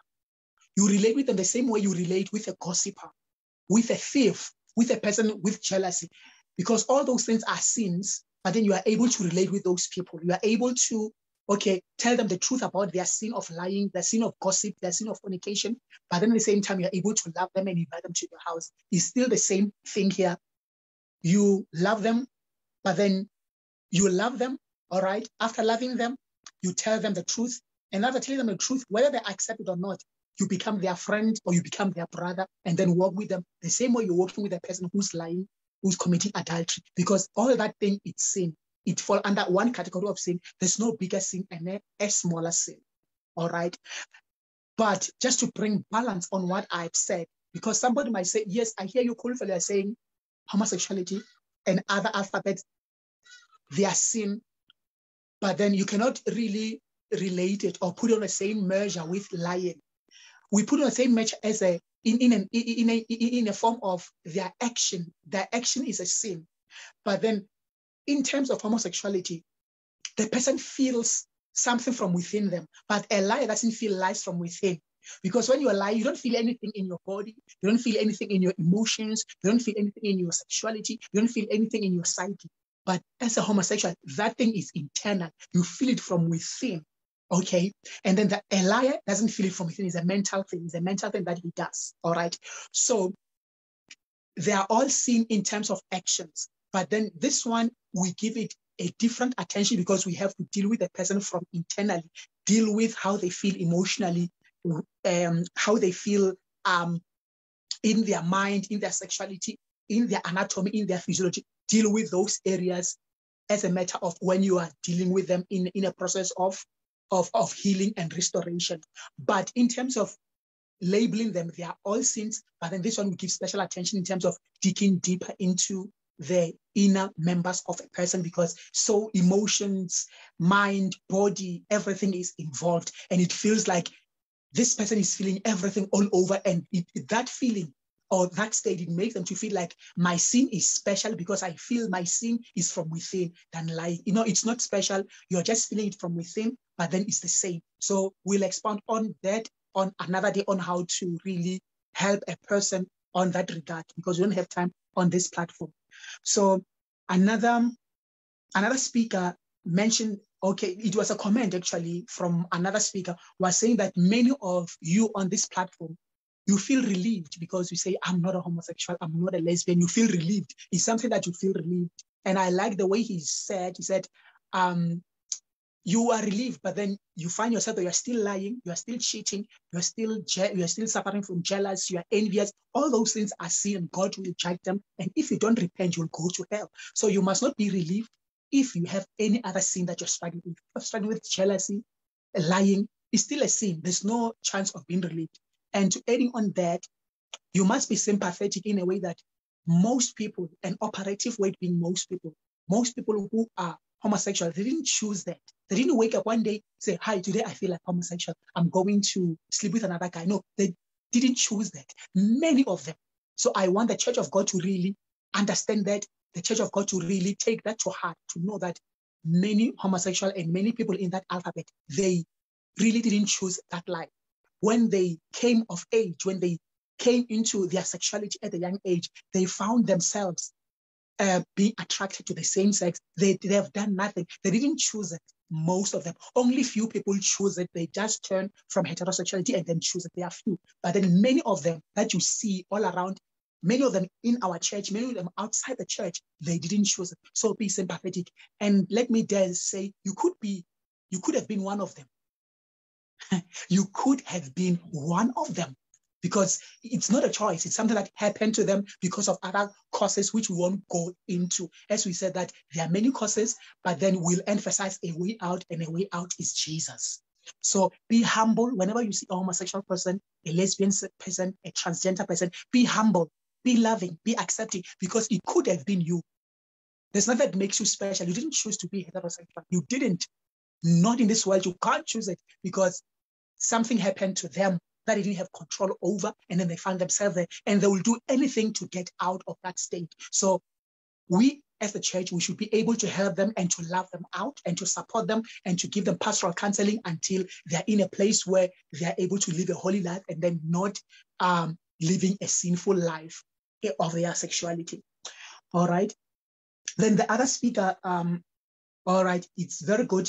Just emphasizing that um, as a church, we must be big on lifting off a cloud of condemnation, a cloud of guilt that is on top of people who are struggling with these issues. Many they come into our church, they've condemned themselves. The world has condemned themselves. And when they come to church, they don't need us to add more condemnation. We should lift up the condemnation by loving them and then accepting them, but at the same time, tell the truth. It's very important because many believers, they love them, they accept them, they give them grace, but they don't tell them the truth you haven't done the work. The work is not finished. You love you accept you tell you, you, you give grace and then you tell the truth. Then the job is finished. Then um or the, another speaker wanted who talked about um the the homosexual act. Uh, that homosexual act is it a, a, sin? A homosexual act is a sin and then homosexual person uh, Okay, he said that uh, we must differentiate between the act itself and the person himself. All right, in that in that order. Yes, it is very very important for us as the Church of the Lord Jesus Christ that when a person comes into our midst, we'll be able to separate them from the sin that they are doing, which is an act, and from them as a person. An act is when they go out and sleep with other men and sleep with other women. That's a homosexual act, and then that we should condemn and that's we should say no you should not supposed to do that. But at the same time love the person love that brother because they are not their sin. They are not homosexual sin. They are a person. They are your brother they are your sister. Love them as they are. Dispense the love of god to them. Shower them with love. Eat with them. Invite them for dinners and all that. But then always speak into their homosexual sin and condemn it but then don't condemn the person. It is quite it, it's, it's not a gray area it's not a gray area. It's possible to do it. I don't want to call it a gray area. It's possible to do it. Even though some other people, when you condemn the sin and accept them, they'll say, no, you're condemning me. Because it seems like that sin is part of them. When you say, no, do not do this, they seem like you are addressing them. So others will understand you, others won't understand you, but continue doing the right thing, saying sin is sin, as in the homosexual act itself. And then the homosexual person themselves, they are not their sin. They are accepted by Lord. We accept them at the church and the Lord accept them and we should love them. All right. And then lastly, I was seeing on the comments of the people there, they were asking if a person who's struggling with homosexuality can go to heaven. That's a very big question, isn't it? A person who's struggling with homosexuality, yes, they can go to heaven on this condition. They can go to heaven if they don't practice homosexuality. practicing homosexuality, it is um, when they sleep with other people committing a sin. But if they don't commit sin, they just have this feeling that they're struggling with, but they don't actualize the feeling by sleeping with another person, having emotional relationship and physical relationship. They don't have those two relationships, emotional and physical. They don't have it. Then that person will go to heaven you will meet that homosexual person in heaven because they didn't live they didn't live in their homosexual lifestyle. And when who's not a homosexual, you can go to hell because you lived in your sin, pointing at that one who is having feminine gestures. When they preach, they look feminine or they look masculine, and then you point your finger at them, not knowing that yes, they look masculine or they look feminine as a man, but then they are living holy life. And then they'll go to hell, they'll go to heaven, I'm sorry, they'll go to heaven while when you're going to hell. So Rest assured, if there's any person in this platform struggling with homosexuality, you'll go to heaven if only you live a holy life. Stick to living a holy life. Say no to homosexual act and sinning, you'll go to heaven. All right. And then lastly, uh, even at the ch- in church setting, you can use such a person to be a chorus leader, to preach the word, to do, to, to come and do Holy Communion. The person who's struggling with homosexuality, you can use those people because they are not seen. As long as they are not practicing homosexuality, as long as they are not, as long as they are not sleeping around, you can use them. All right, you can use them because that feeling in itself, it's not making them to sin. A sin comes when you act, just like with anger. The Lord says, be angry, but don't allow your anger to cause you to sin. You know, that is in the way. The Lord allows you to be angry. And anger is a feeling that you feel. But then he says, don't allow that feeling to make you to sin. So when you are angry, you don't go to hell for being angry. You go to hell for swearing. You go to hell for damaging property, for damaging property. You get it? So the person for them for having, for having a feeling of homosexuality, they won't go to hell for having a feeling. They'll go to hell or God condemns them. They time they start acting on it. But if they don't act on it, they are okay.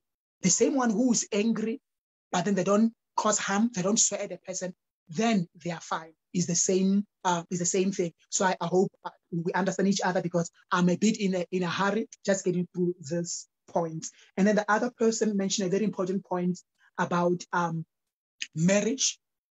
Uh, they said that some other people who are struggling with homosexuality in the church, in the church, they'll get married because of pressure, because of wanting to be included. That we discourage greatly. If you are in this platform and then you are struggling with homosexuality, you are struggling with a lesbian, you are struggling with any other sexual struggle, please don't rush into marriage as a cover. Don't go and hide in marriage. Don't do that. We discourage that. Marriage will not heal you of, of your homosexuality. I'll say that again. Marriage does not heal homosexuality. So you must not get married. You must go for counseling. You must go for help. You must go through healing first and make sure you are totally healed. You are totally uh, uh processed out. And then you will even know it in your heart and in your spirit, even in your emotions, even in your body, even in your physiology, that now I am in a better place to be able to be in marriage. But do not ever hide in marriage because you will be making a great injustice to the other person you are married to. So we must not do that. All right. Okay. And then they said that um they said another uh, they said the effect that if you find that your spouse is homosexual, they tell you when you are getting married, you find that they are homosexual inside marriage. What do you do? Do, do you divorce? Because they didn't tell you. I don't think personally, I don't think you should divorce. You should both of you should go for counseling. If they are they are willing to walk this walk of purity and they're willing that God has helped them out, God can help them out while their support system. You can stay with them and God can help them. All right. But then if you want to get, then it is your choice. No one can condemn you for that. You you can do that. You have a right to do that. But then if you want to stay, God can still help you. The the condition being that your spouse must be willing to change. Your spouse must love God so much that they want to change. All right. But then if you see that they, they are not they are not they are not serious about changing, they say I'm sorry, and then they go next time they do adultery, they keep on falling and getting up, then you can decide of getting out. But if you see that this man or this woman is serious about living this lifestyle, support them and God will help you out. But then you will decide what you do in that marriage. If you are getting out or you are staying with them, and then both of you are going for counseling, and there's help. There is help if you want to go together or continue with that spouse. All right. And um, yes, um, then the other speaker spoke about bullying. Uh, we, we spoke a lot about bullying. I'm not going to go into that, but then I'm just going to touch what she said. She said that um, um, when I, because I mentioned earlier on that I have friends who are homosexual, and these friends are not saved. They don't know the Lord. They are from the world. They don't subscribe to my biblical standards, but then they are my friends. We understand each other. We eat together. We we, we, we, we, we always together. All right. And then there's no tension. But then she said that when she's with some of the lesbian women, they ask her if she has had sex with another woman. So, and then she said it is hard for her to befriend or to be close to people who are struggling. All right. Um, if you happen to be in such uh, relationships or such companionships or such gathering, you must put boundaries. You must put strict, strict boundaries and say, okay, we'll not talk about sex. I don't want to know how you do your sex, what, how you do it, where you do it, and all the nitty gritties of your sex life as a homosexual. I don't want to know about it. We are not discussing that. That is not on the table. We'll discuss any other thing, not about our sex life. And don't ask me about whether I've slept with another woman or with another man. Let's not talk about our sex life. I will not doing that. Put those boundaries. And then if you're putting those boundaries, then you are able to talk about other things, about politics, about sports, about things happening in the social media. There are many things to talk about and avoid those uh, uh, Eh, there is those areas that will make you to be uncomfortable. All right. You can only talk about them if they need counseling. But then if they're going into poking into you, have you slept with another woman? Is because you don't know that you are a lesbian just because you haven't tried it. Try to test yourself to see if you are really heterosexual. Then they put your foot down and say, No, you're not gonna talk to me like that. You are not allowed. Please stop it. And if they don't stop it, then you walk away. You break that relationship. Don't force yourself into that relationship. If they don't respect your boundaries, walk away. My friends that I have, they respect my boundaries. They don't talk weird things when they're with me because they know what I stand for. Okay, that must be clear. And then the other speaker asked about anal sex. Okay, I've spoken about anal sex, but I've been general because it's coming for the second time this anal sex. I'll be just direct. I will dial direct. All right. They're asking if anal sex is acceptable. All right. I would say uh, from it, it, okay, I would start by saying from Genesis to Revelation in the Bible, the word of the Lord does not mention anything about anal sex. All right. So issues that are kind of gray areas, issues that are not mentioned in the Bible, we use what we call the general impression of the Bible, what the Bible implies generally. When we look at the Bible generally, and here I'm speaking about the people who love God, people who want to pursue holiness, not people who want to use the Bible to benefit their own desires, who want to use their, their Bible to kind of justify what they want to do. But I'm speaking to the people who love God, who want to please God. And if you want to please God, you will take what I'm saying. According to the general impression of the Bible, in a married, in a marriage situation where husband and wife, anal sex is not advised. It's not advised at all. The reason being, the reason being that um, sex originally was created for procreation. So the the in, in anal sex, there's no procreation there. There's no procreation at all. And then again, the second reason is that the enemy, Satan, has introduced anal sex into homosexual relationships. And then he introduced that in homosexual relationship. Why did he introduce anal sex in homosexual, in a homosexual relationship, Satan? He introduced it so that he can uh, kind of reverse the order of God. Because God said you'll, you'll procreate from the front using your, your, your front private parts, not your anus. Using your front private parts is how God have said it. Then Satan comes and then change it and said, okay, I want to do the opposite of what God said. Because God said the front genitals. Now I'm gonna say the back, um, I'm gonna say the back, the back things, which is the anus. And then in that way, Satan again, he is kind of uh, uh, po- uh, po- poking God in his eyes by doing that.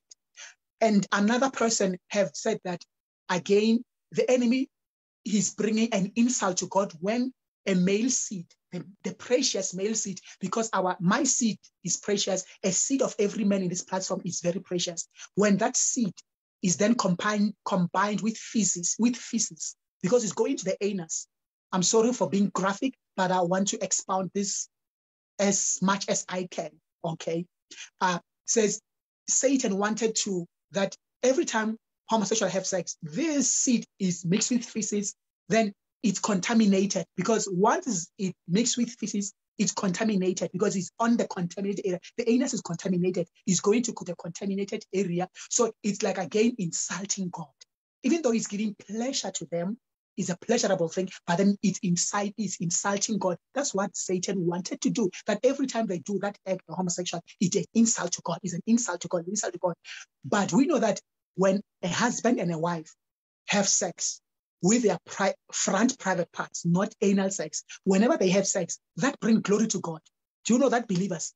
When I have sex with my wife, every time I have sex with my wife, that brings glory to God. Every time I engage with my wife, the heaven rejoices, angels rejoices. Like there's a, there's a ululation in heaven because this is what God wanted. Whether we are having sex in terms of we want to procreate, we want to have a baby, or we are having sex in terms of giving each other pleasure and enjoying each other, it doesn't matter. But every time we come together, heaven rejoices, it glorifies God. And then when homosexual people come together, because it's a seed going on the contaminated area, which is the anus, then God is not glorified. is an insult to God. And I can be crucified for saying the things I am saying, but then we'll say them anyway because we don't want to hold the truth. We don't want to revise the truth. We don't want to minimize the truth. We don't want the truth to be prohibited. We don't want to be bullied out of the truth. We are not insulting anybody here. We are saying our opinions out there. So the sister who asked about the anal sex, no, if you love God, you and your husband, it is unacceptable. Do not do it. Then the last thing the last thing about this anal sex, oh my God, it's very dangerous for males. Okay. If there's any male in here who's married, who's thinking of doing anal sex, who, if there's any male in here who's, who's thinking of doing anal sex or who's doing anal sex, you know there's a trap there. There's a very dangerous, poisonous trap that, all right, you will go anal with your wife, go anal with your wife, go anal with your wife, go anal with your wife, okay, for some time. Then, because the anus of a man and anus of a woman, they look the same. Anatomically, they look the same. I told you that I'm, I'm the medical doctor. All right. So this is my, my, my, my, my, my, my, my realm, my realm. Hence, I'm speaking so freely. So the anatomy, the anus of a man and the anus of the woman, they look the same. They look the same and they feel the same. All right. So a trap is when you uh, customize yourself of going behind your wife every now and then. Then the enemy somewhere when your wife is not there, the time when your wife is not there, you are in a trip somewhere to Dubai with your friends. And then you feel lonely, you missing your wife. And then your friend is there. Then the enemy can say, Pape, the anus is anus. You have been doing this thing anus with your wife. So the anus of the brother, they are the same. Then you find yourself in that trap. And many men have found themselves being bisexual, turning bisexual in the middle of a marriage because of this factor. It's very, very dangerous. And so if you are a wife, say no to your husband. Why no? You are protecting him, not over some years for him to turn and then and be a bisexual because anus, they are anus, and the enemy and say they are, they are the same. So experiment, and then you have lost your husband. So it's a no. And then they ask about the age of consent, uh, about the intersex the, the age of consent of doing um, such primary surgical reconstruction for a child. Um, I'm not really sure about that, but then I, I believe it should be around uh, 12 years and above. Yeah, should be around 12 years and above the age of consent. Uh, that we'll just have to check and Google, but then I believe it's around uh, 12 years and above the age of consent. Below that, the child they're not psychologically developed enough to decide what they want and then the hormones haven't kicked in and then even their sexual awareness have not kicked in. Because we start to be awakened into our sexuality around the ages of 8 9 10 12 by 12 you really know that you are attracted to men or women. Around that time 12 13 you really you really know because most of the people who are homosexual they really knew when they were 10 when they were 11 because they were becoming aware of their sexuality. So it will be the same principle if it intersects because you want the person to start feeling first. And then after feeling, but then it's not only rely, uh, uh, um, relied on feeling, it's relied again on the on, on on the chromosomal studies. Okay, if on their chromosomal studies they indicate that they are more of a male, then it should be assigned. The, the sex change should be more of a male. All right. should be like that. So, but then again, I'm talking about the world, not the church. Then a child who's not born again, or a child who's from a Christian family that are not of God, they'll say, okay, because the chromosomal the chromosomal studies, they are saying this child is more of a male, but then the child will say, I'm feeling more of a female, so make me a female. So you see, now you are reversing the order of God with the excuse of intersex. There you are wrong. And it's where the LGBTQI community comes in. They have sucked in the intersex people, and they are not supposed to suck them in because intersex, intersex people, they don't have a sexual orientation problem. They don't have psychological problem with their sexuality. It's just anatomical.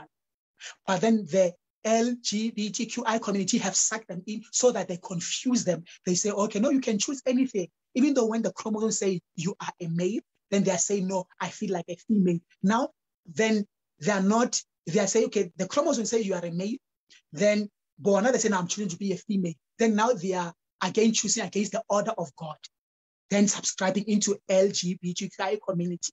So even the age of consent shouldn't be much of an issue to us as believers because we do the studies and then the study says you are a man or you are a woman, then we correct towards a male and man, a male part, even if you are still a young child.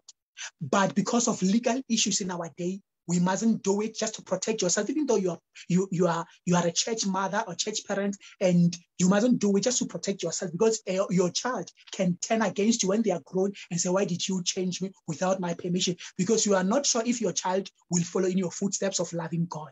Only on that. But if we, we were sure that our children will love God and follow God's way, we'll just change them in that age, but then legally just follow those procedures and pray that your child won't choose against what their chromosomes are saying. Is what you must be praying for. All right. And then yes, um, then I'm concluding uh, by uh, this one is still for intersex. Uh, the the speaker asked about the anomaly, intersex anomaly. Um, he asked about the anomaly to, to what extent is this anomaly? Uh, whether you'll find that a, a child is having um, two opposite uh, uh, genitals, like two, the male genital and the female genital all together there, or you'll find just a, a stamp, a, a, just a stamp of um, a penis and a full developed vagina, or you'll find a full developed penis and just um, the, the, the, the, stamp of uh, a vagina. He asked about that. So the question, the, the answer is it varies from individual to individuals. It varies. So the, we cannot give you a definite answer and say is to this extent.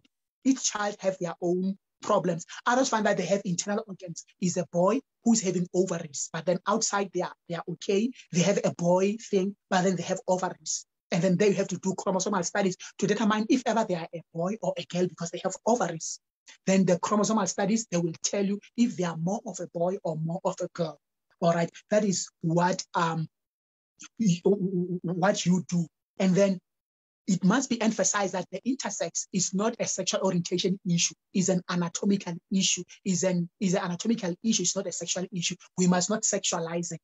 So we don't sexualize it so we can correct it with surgical correction and then pastoral counseling, and then the person becomes fine. And then I will just conclude because I said I must conclude. I would like just to conclude uh, by saying thank you so much to everyone who tuned in. It was a long discussion long presentation. Thank you so much for tuning in, for staying in. Thank you, my host. Thank you so much. You were very good, very, very good, very informative, very insightful. And thank you, Vinny, for calling for order in the group because I saw that some people, yeah, they were quite out of order in this place. And I often ask myself, are these church people or we are joined by people who are not of church? But if people are not church people on this platform, it's okay for them to speak the way they speak. I was just shocked. But the Lord will help us the Lord will help us. So I want to conclude by saying that um, as, the, as the church of God, let's love the people of God. God will bring all kinds of people into our church. God will bring homosexuals, will bring lesbians, will bring transgender, will bring intersex into our church. He will bring them into your home set. He will bring them into your home for you to love them, for you to walk with them, for you to, to, to give them healing, for you to refresh them. Love them. Go all out for them. Go to the ends of the earth for them. Like draw them in. All right. And while you're doing that, But, a very big but, tell them the truth. Tell them the truth about their state, what God is saying, that God says this act is sin. Uh, this act is not supposed to be done, but then assure them that them as an individual, they are not a sin. His sin of homosexuality, of sleeping around with other men, it's a sin, it's separate, but he is not that sin. He's a person, he's loved by God, and you love this person. All right. Assure them that God loves them, but tell them the truth. Please don't compromise on the truth over love or over sympathize and give them a leeway. Don't give them a leeway by over sympathizing. Love them, but tell them the truth. And if that person is fair enough, if that person is sane enough, they will see that I man, Kholofelo loves me so much. He's cooking for me, inviting me for dinner, coming to my house, supporting me, giving money, giving me provision, but he's just against my lifestyle. Then I can work with this man if that person is fair. But if they're not fair, they'll just accuse you for being homophobic. Then if they accuse you, then step away. But please do not compromise the truth. As we said in the beginning, do not avoid the truth, speak the truth. Do not minimize the truth, say the whole truth. Do not revise the truth to accommodate anyone. Don't minimize it. Don't avoid it. Don't revise the truth. All right. So that the truth must not be prohibited. And then lastly, as I'm leaving, is that um, uh, my wife has my wife has composed a song called "My Exit Door." Yeah, my exit door. Yes, my exit door. I'm excited about the song. Yeah, this song about my exit door uh, that my wife uh, composed. It, it's about um, that you, in, in, in, any kind of sin. But now we are talking about homosexuality, lesbianism, and all these alphabets. We'll just zoom into this, but then it, it is for any other sin, jealousy, murder, fornication, lying, gossip. But just because of the topic of today, this song is says Jesus my exit door.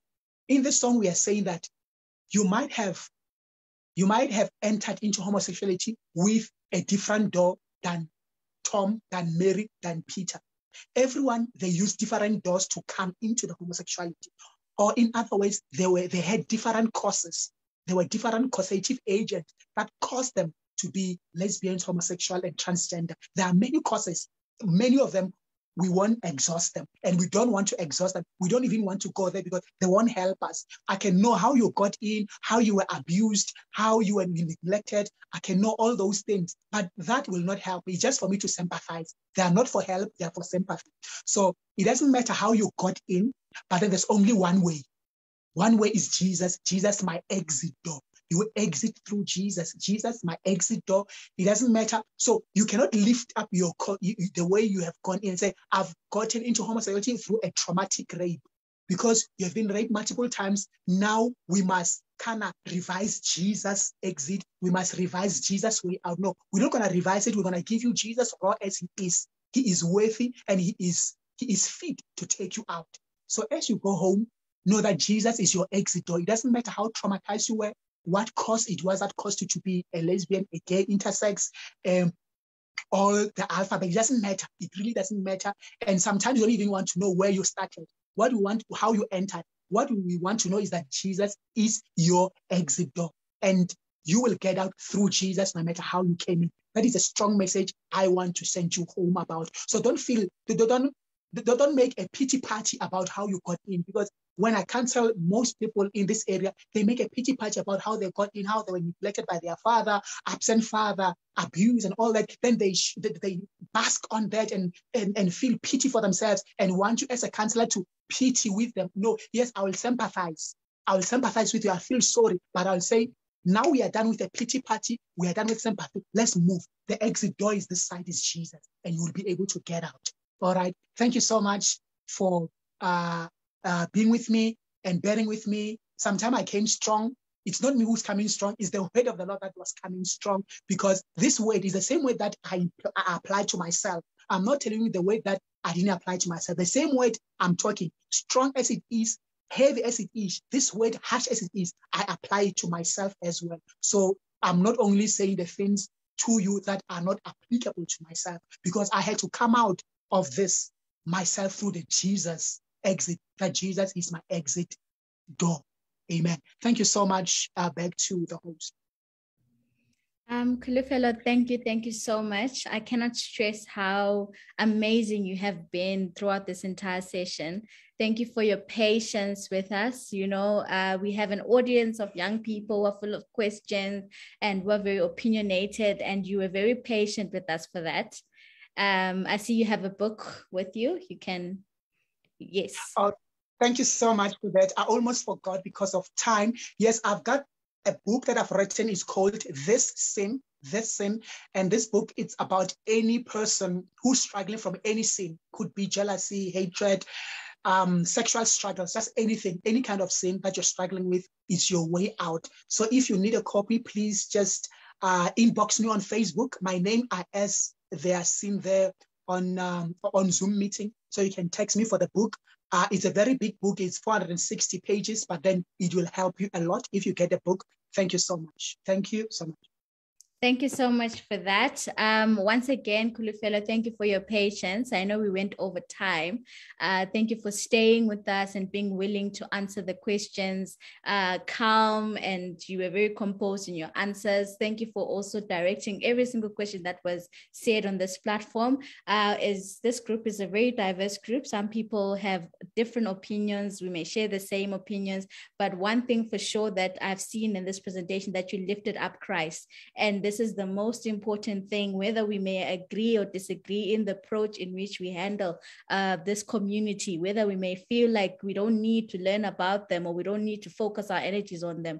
But one thing that you that stood out for me in this presentation is Christ being the exit door in any scene of a sort. And thank you so much for bringing this light and giving us the confidence that we can always go back to the Bible. We can always go back to God in any of our struggles. And today eight today there's no one who was more fit to address this topic because you yourself came out of this. You yourself were uh, once in this whole uh, dilemma and you found yourself out, and therefore you can boldly testify of the grace of God and the ability to actually take yourself out of it. So I, I, I, I you have inspired me so much, and as I know that a lot of people have been inspired as well through your story and through how assertive and brave you are. It's not an easy way or an easy thing to talk about these sensitive issues nationally in church, in schools. It's not easy. And thank you for giving us that confidence, and thank you for lifting up Christ today. And I pray that above everything, we may remember that all glory goes back to Christ and we may continue to soldier on in accommodating different people who are different from us and we may continue to win more souls to Christ and also address even the sins that we struggle with ourselves. Thank you once again, Kholofelo, and thank you to the audience for the many questions that you have done. You have you have posted on the on the on the chat group. You have you know you've made even jokes so you guys had your own fun on the chat. You know it's such a family it's so warm. Thank you for your comments. Thank you for being you know willing to speak out and say what you think what you want to ask the speaker. This program doesn't make sense without the questions from the audience. This is done for us. This is the speaker comes here to share and he can only share from questions and he gains insight as well. And he also learns more how to refine his presentation. So your questions do not go uh, unnoticed and they are not, you know, not appreciated. So thank you so much again to the 230 Conversations audience. You know that there is going to be an after scenes. I'm just going to quickly uh, take you through the announcements uh, as to what's happening next week. So our up upcoming program for this uh, week is on the 30th of April. We have religion and spiritualism from Sandy Leticia, same time, same place.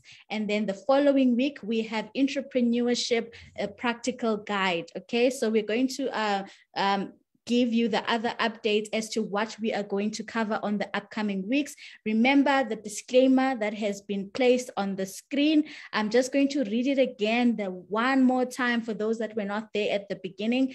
Please know the views expressed during 230 conversations are of individuals. So expressing them is not a reflection of the 230 conversation or the Seventh-day Adventist church or its affiliates position and or views, whereas participants are encouraged to share their opinions and views without fear. 230 conversation abhors and shall not tolerate hate speech, hominem attacks and or conduct or views that seek to infringe on individuals' God given and constitutional rights to human dignity. 230 Conversations, its sponsors and affiliates shall not be held liable for any views, opinions, conduct, and expressions that seek to undermine and infringe on God given and, and on God given and constitutional rights.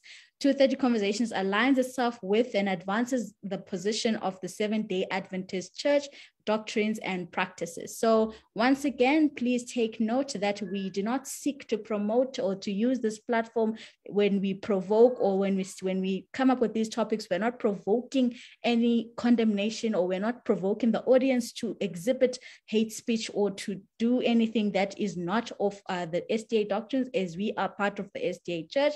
Once again, I just needed, I felt uh, I had to stress that point. Please remember as well that we do have a data fund. If you want to donate data uh, airtime, please contact Mta and Ashley.